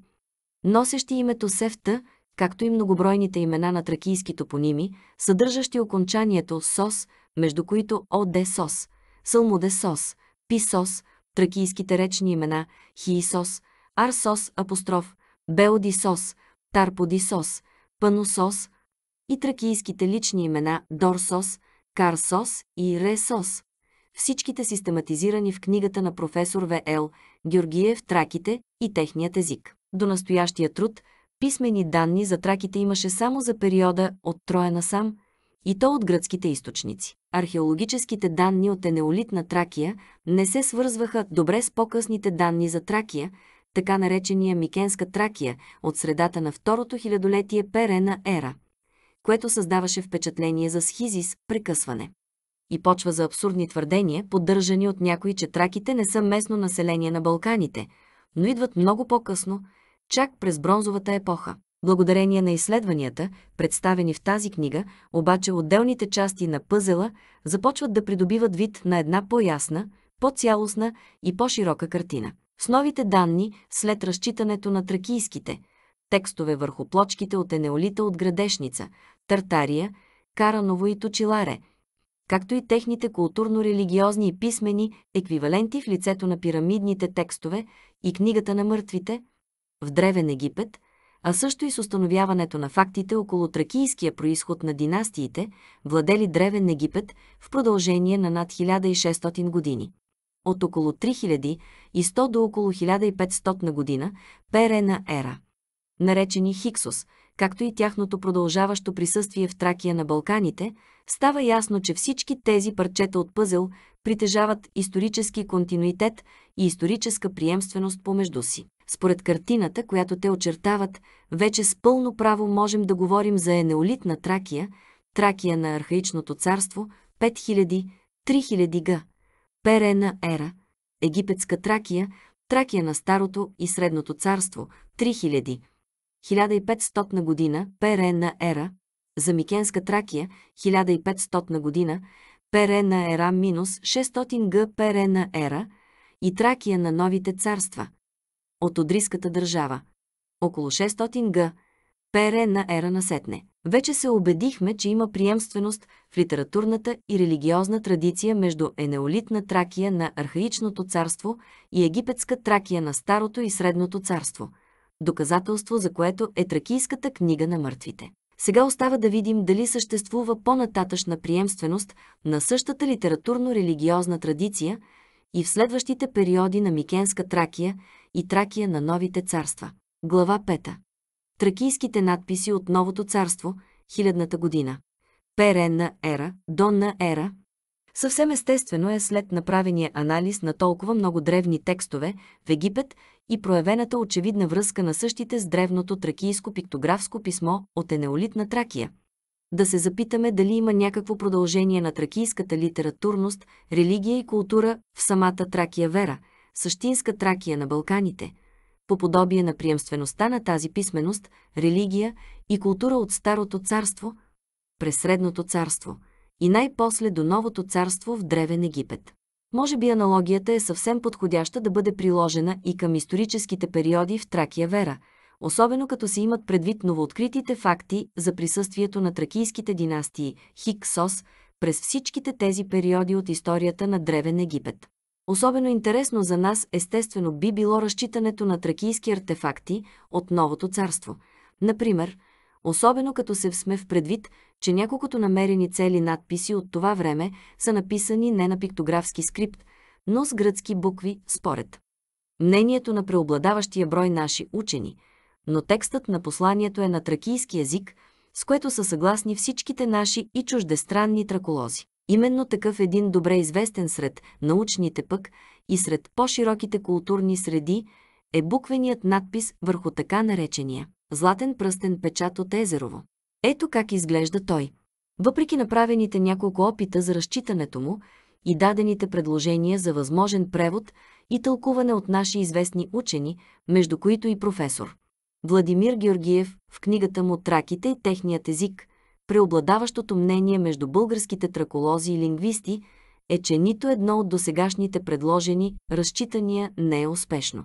Трудността идва от факта, че текстът се състои от непрекъснат низ от букви без интервали или препинателни знаци между думите й или изреченията и до настоящия момент не са били известни никакви граматически данни за евентуалния строеж на изреченията в тракийската реч. Освен това, Събраният с дългогодишен труд на мнозина, твърде оскъден речник, състоящ се от само около 200 думи с вероятен тракийски происход, публикуван от професор Владимир Георгиев в книгата му «Траките и техният език», се оказва съвсем непосилно помагало за разрешаване на проблеми с такова ниво на сложност. Затова никак не е странно, че вече толкова много години от намирането на тази безценна археологическа находка, съдържаща тракийски текст в цялост и пълнота, до този момент успешен превод не е бил направен. Днес обаче, след разчитане на древните пиктографски знаци от енеолитна Тракия върху плочките от Градешница, Тартария, Караново и Точиларе по метода на Гайд, както и с доказването на тяхната директна връзка е иероглифното писмо и множество текстове в Древен Египет, стана пределно ясно, че един от говоримите диалекти в Египет има общ происход, изходно звучене на някои диалекти в съвременния български язик както бе особено ярко демонстрирано в книга 2 на тракийското писмо Декодирано.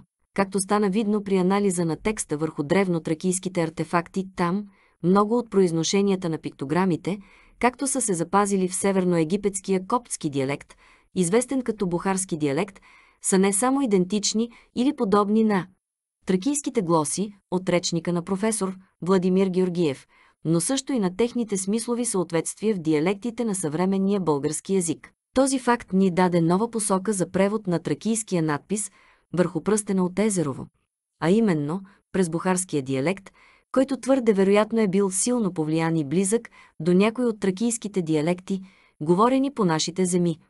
Съдейки по досегашните резултати от изследванията върху древно-тракийските текстове върху плочките от енеолитна Тракия и техните съответни аналози в пирамидните – ковчезни и папирусни текстове от книгата на мъртвите в Древен Египет. За мое най-голямо удивление и радост се оказа, че такъв прочит не само стана възможен, но бе постигнат с елегантна лекота и непринуденост, следвайки директно най-простите нравила на бухарския диалект, без каквито и да е умувания, усуквания или нужда от хипотетични тълкования или заемки от други съседни езици, което е още по-вълнуващо – така направеният вече напълно достоверен превод разкри пред очите ни изяществото и дълбочината на още един сакрален за траките текст, който е в пълно съзвучие е другите вече прочетени по метода на гайд древно-тракийски текстове от енеолитна Тракия, както и с техните аналози от папирусите на Древен Египет. И така пред вас е първият действителен, смислен и логичен прав прочит на текста върху пръстена от Езерово, който е написан съвсем очевидно на близка разновидност на бухарския диалект. За нашия анализ, текстът е разделен на два сегмента за по-ясен поетапен прочит. Ето го и първият сегмент от пръстена печат от Езерово. Още от пръв поглед върху текста се вижда, че сричката е А е повторена неколкократно, което я прави веднага особен обект на внимание и кандидат за точно определен граматически носител. Следователно, това е и първият логичен етап да разделим някои думи в текста. Не по-малко забележителен е фактът, че думата «еа» е почти идентична с думата «ей» в бухарския диалект, която обозначава смислово на мен, меми. Ето и резултатът от първото разделяне на непрекъснатия текст на фрагменти около сричката «еа». От горния вид, при условие, че «еа» равно «ей», «ме», «ми» в бухарския диалект, веднага се разпознават следните изрази, типични за бухарския, Горните така разпознати изрази водят съответно и до втория логичен етап, при който ние вече можем да разделим още няколко думи в текста. Сега вече е още по-лесно да се разпознаят и другите думи, които са съставни части на този текстов сегмент. В обобщение целият фрагмент се превежда последния начин «До тук добре», но нека да продължим, използвайки същата методология при изследването на втория сегмент от текста върху пръстена. При втория сегмент, освен че отново забелязваме думата ЕА, виждаме и още две специфично повторени срички, а именно НТ и инта, които също отделяме, защото в бухарския диалект те са форми на притежателната частица на, принадлежащ на. Това води до следното избирателно фрагментиране на текста около горните разпознати думи. От горното веднага става възможно прочитането на следните фрази – Остава да разчетем останалите фрагменти, които са съответно. Това не е особено трудно, като се има предвид, че в тази епоха синкретични процеси на сближаване между философските и религиозни виждания в района на Средиземноморието са на лице. Веднага разпознаваме, което е често срещан в района термин заимстван от обратните еврейски влияния върху орфизма в лицето на заместителното име на Бога. Адон А. И. Господ мой. И така да погледнем отново първия фрагмент по-горе. Остава отделно първата дума, която вече е много лесно да разпознаем и разчетем.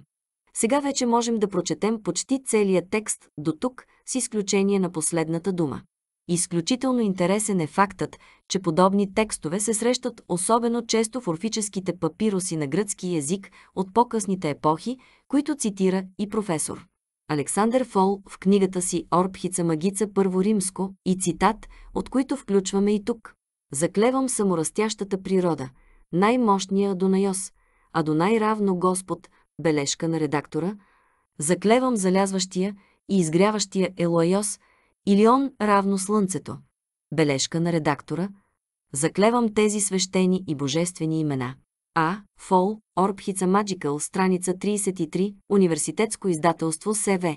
Климен Тохрицки, София 2004. Забележително е, че и в нашия тракийски текст върху пръстена от Езерово се споменават именно две такива имена на божеството, като Адонай и Илион. Хелиос равно Слънце, Бел Ред, които не са тракийски думи, но са с синкретичен, съответно еврейски и гръцки происход. Това недвусмислено говори в полза на тезата, че в периода на написването на текста върху пръстена от Езерово, тракийските орфически идеи отдавна са надхвърлили територията на Тракия и ставайки глобални, са приели вече и някои синкретични глобални тенденции. Но нека сега продължим до край нашия превод на тракийския текст върху пръстена. Следва. Думата, която за съжаление няма смислово значение в бухарския диалект, освен ако не се приеме, че тя представлява инициалите. Пи главно делта първо римско. За радост, тези инициали са добре известни от множество други по-късни орфически таблички, в които пак повечето от текстовете са написани на гръцки език. И в тях инициалите означават по мнението на преобладаващия брой изследователи Ре Дионис – ето какво пише за подобни инициали, намерени върху други находки с орфически текстове професор Александър Фол. Групата букви главно Делтейн от Диес 7, 10 и 13 и главно Делта първо римско от Диес 11-12 от каталога на Лехмарм 1955 би могла да се определи като старогръцка, заемна от свещения език и да се чете като съкратена падежна форма на Зевс или на Дионис. Самотракийските главно, делта първо римско главно делтаин, главно делта, главно ламбда е главно ламбда първо римско, заедно с главно делтаин туле, главно делта първо римско, ент, нула, главно ламбда е сметнати за абревиатури от Бриксхепанайото 1994. 188 стоят близо до убийските групи букви. Дионис е по-сигурен от Зевс превод. Превод е добавка за пояснение от ред. Александър. Фол, тракийският Дионис, страница 288. На друго място в същата книга професор Фол изтъква и заимстваната синкретичност, настъпила при орфизма при разпространението и средиземноморския свят. Зев, Загрей, Зевс, бележка на редактора, е онази божественост, която съдържа доказуема египетска заемка. В молитвата на покоен фараон, отправена към Ре, бога Слънце, антропоморфния създател и крепител на света, се изброяват частите на тялото на починалия владетел. Главата е Ре. Александър Фол, Тракийският Дионис, страница 171. При разглеждането на подобни надписи, състоящи се от такива инициали, противоречието за много от учените е било и в това, че името Ре се отбелязва само с една буква – Р, докато Дионис се отбелязва с две букви, главно Делта Първо Римско. В резултат на по-предните изследвания в настоящата книга обаче и по-специално на пиктографския надпис върху погребалната плочка от Точиларе, вече стана ясно, че правилното произношение на името Дионис е всъщност Дион Исус, слънцедатният Исус. Слънцето Исус, което се състои от две думи Дион и Исус. Това обяснява и факта, че името Дион Исус се отбелязва с два инициала ЕЕ. От друга страна, връзката главно делта първо римско, Дион Исус, Сев, Зевс, най-вероятно произлиза от иконографския пиктографски образ на Дион, Исус като пастир, а както знаем вече от книга 1 и 2 на тракийското писмо декодирано, думата пастир се произнася на тракийски сев, откъдето на гръцки преминава в сев, зев, зевс. С други думи, върховният древно гръцки бог Зевс е всъщност име заимствано от древните траки, което се произнася при тях Сев и е един от епитетите на тракийския бог Дион Исус, Дионис. Като Сев означава пастир. Спомнете си за иконографията на добрия пастир, не случайно навлязла по-късно повсеместно в християнството, където вече въплатилият се исторически Исус казва на своите ученици. Аз съм добрият пастир. Ф. Йоан 10, 11, но да се върнем отново към нашия превод на тракийския текст върху пръстена от Езерово. От всичко казано до тук става пределно ясно, че последната дума върху пръстена от Езерово представлява три инициала, които обозначават името на Бога, към когото е отправен и целият текст върху пръстена – Редион Исус. Нека сега прибавим и произношението на текста с кирилски букви непосредствено под оригинала – за да може всеки читател да усети извученето му на бухарския диалект.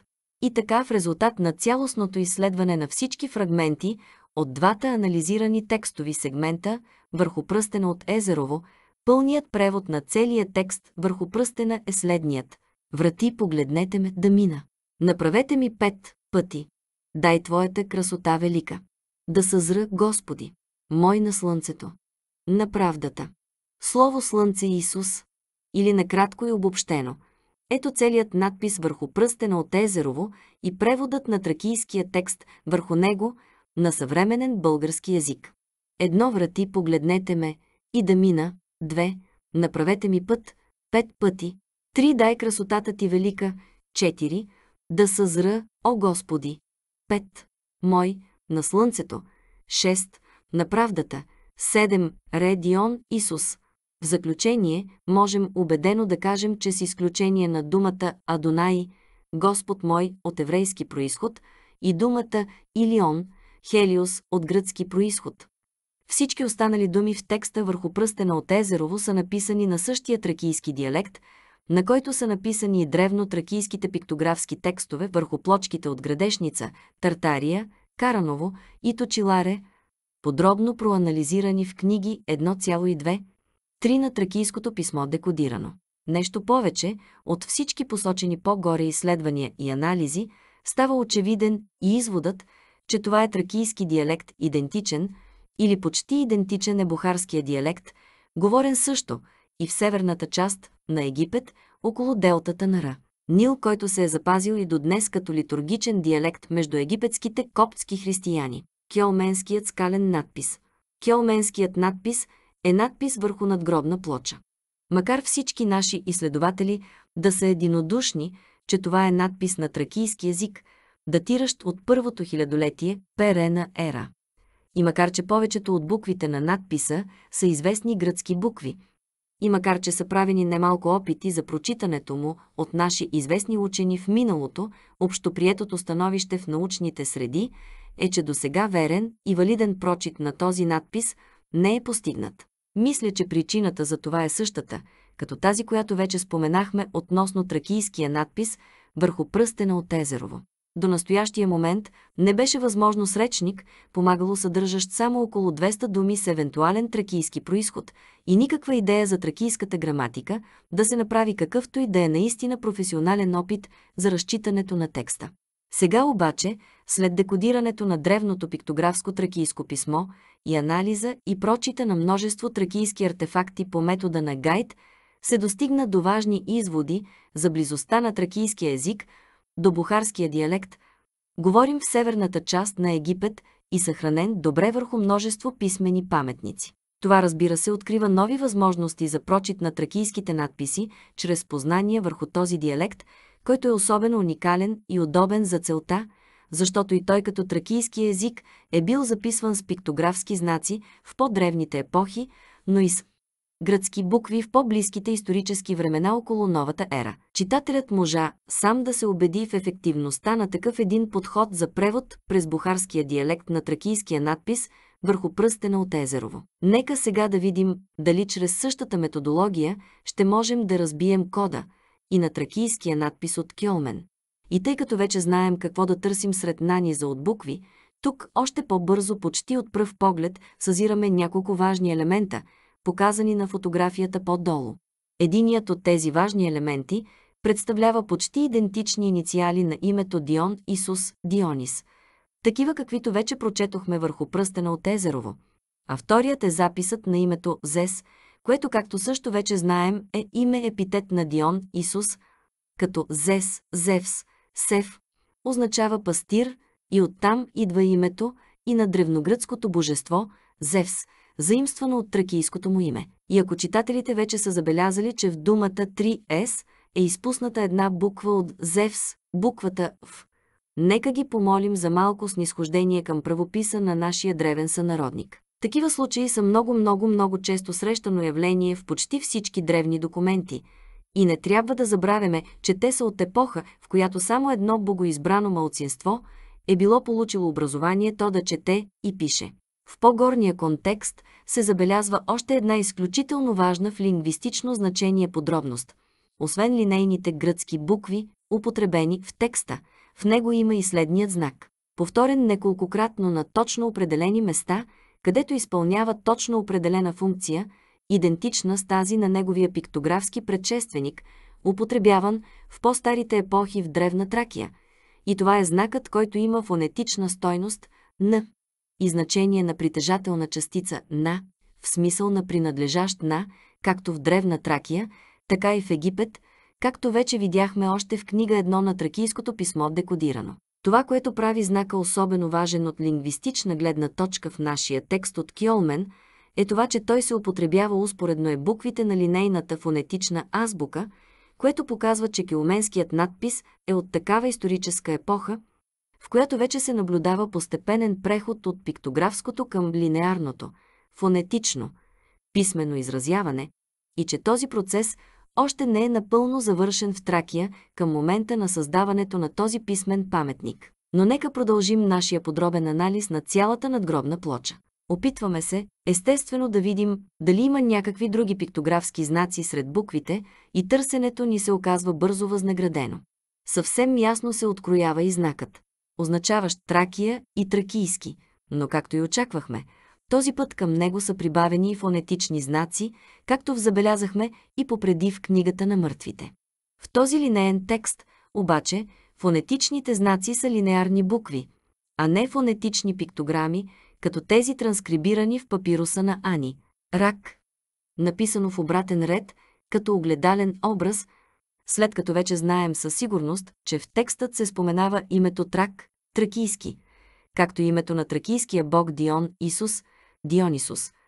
Ние вече нямаме никакви съмнения, че текстът е тракийски и продължаваме с по нататъчния анализ на надписите върху цялата надгробна плоча.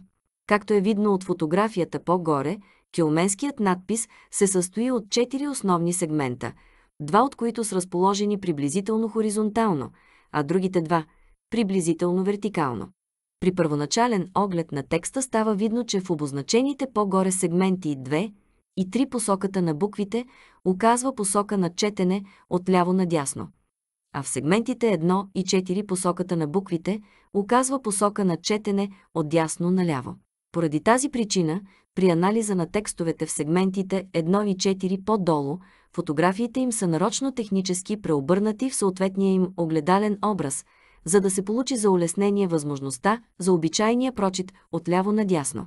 Да започнем с сегмент 1, в който пише трак, тракийски. Над оригиналните букви на текста в самия сегмент са изписани в същия ред и калиграфично подобие, стил и наклон – същите букви с компютърен шрифт за по-голяма яснота и улеснен прочит, а под фотографията пълния прочит на тракийски, бухарски. Диалекти под него произношението с кирилски букви, а най-отдолу – превод на съвременен български язик. Сегмент 1 – огледален образ за прочит от ляво надясно, сегмент 2 – сегмент 3 – сегмент 4 – огледален образ за прочит от ляво надясно – или ето отново целият текст, както е идентифициран и разчетен по-горе, през бухарския диалект на Северен Египет.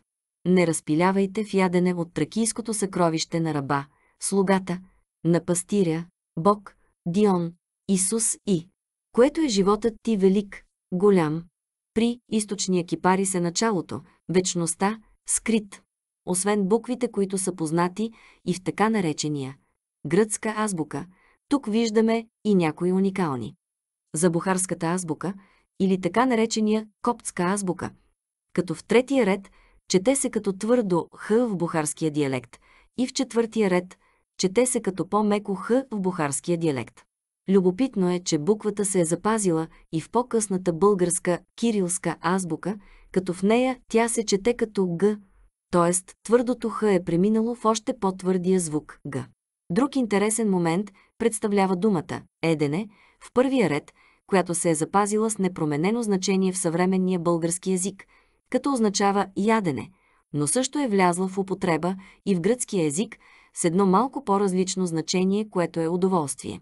Не е ясно дали при траките ритуалът и изобилието на яденето са били от такова естество, че за гърците това е можело да се окачестви като истинско удоволствие, или разминаването в смисъла проистича по други неясни причини, но очевидно една и съща дума в тракийския език се е запазила с различни значения в българския и гръцкия език. В заключение, можем уверено да кажем, че килменският надпис не е записан с гръцки букви, както се е считало до сега, тъй като в него също присъствуват както букви, така и пиктограми, както вече изяснихме, които не се срещат в така наречения гръцка азбука, но за сметка на това са познати от пиктографската писменост на енеолитна Тракия и от азбуката на бухарския диалект, употребяван в коптската литургия. По всичко изглежда, че килменският надпис е представител на смесено изписване, отчасти пиктографско, отчасти линейно-фонетично, което най-вероятно непосредствено предхожда чисто фонетичните азбуки като гръцката и представлява преходно пиктографско фонетично писмо. Друг подобен вариант на такова преходно изписване, пак предшествуващо гръцкото, се наблюдава и в Тракийска Фригия, както ще видим в една от следващите глави, което поставя актуално въпроса за съществуването патрако-фригийска фонетична, линейна. Азбука, предшествуваща гръцката и изпълняваща спрямо нея историческата роля на родителски прототип, въведен най-напред от траките в трако-фригийската зона.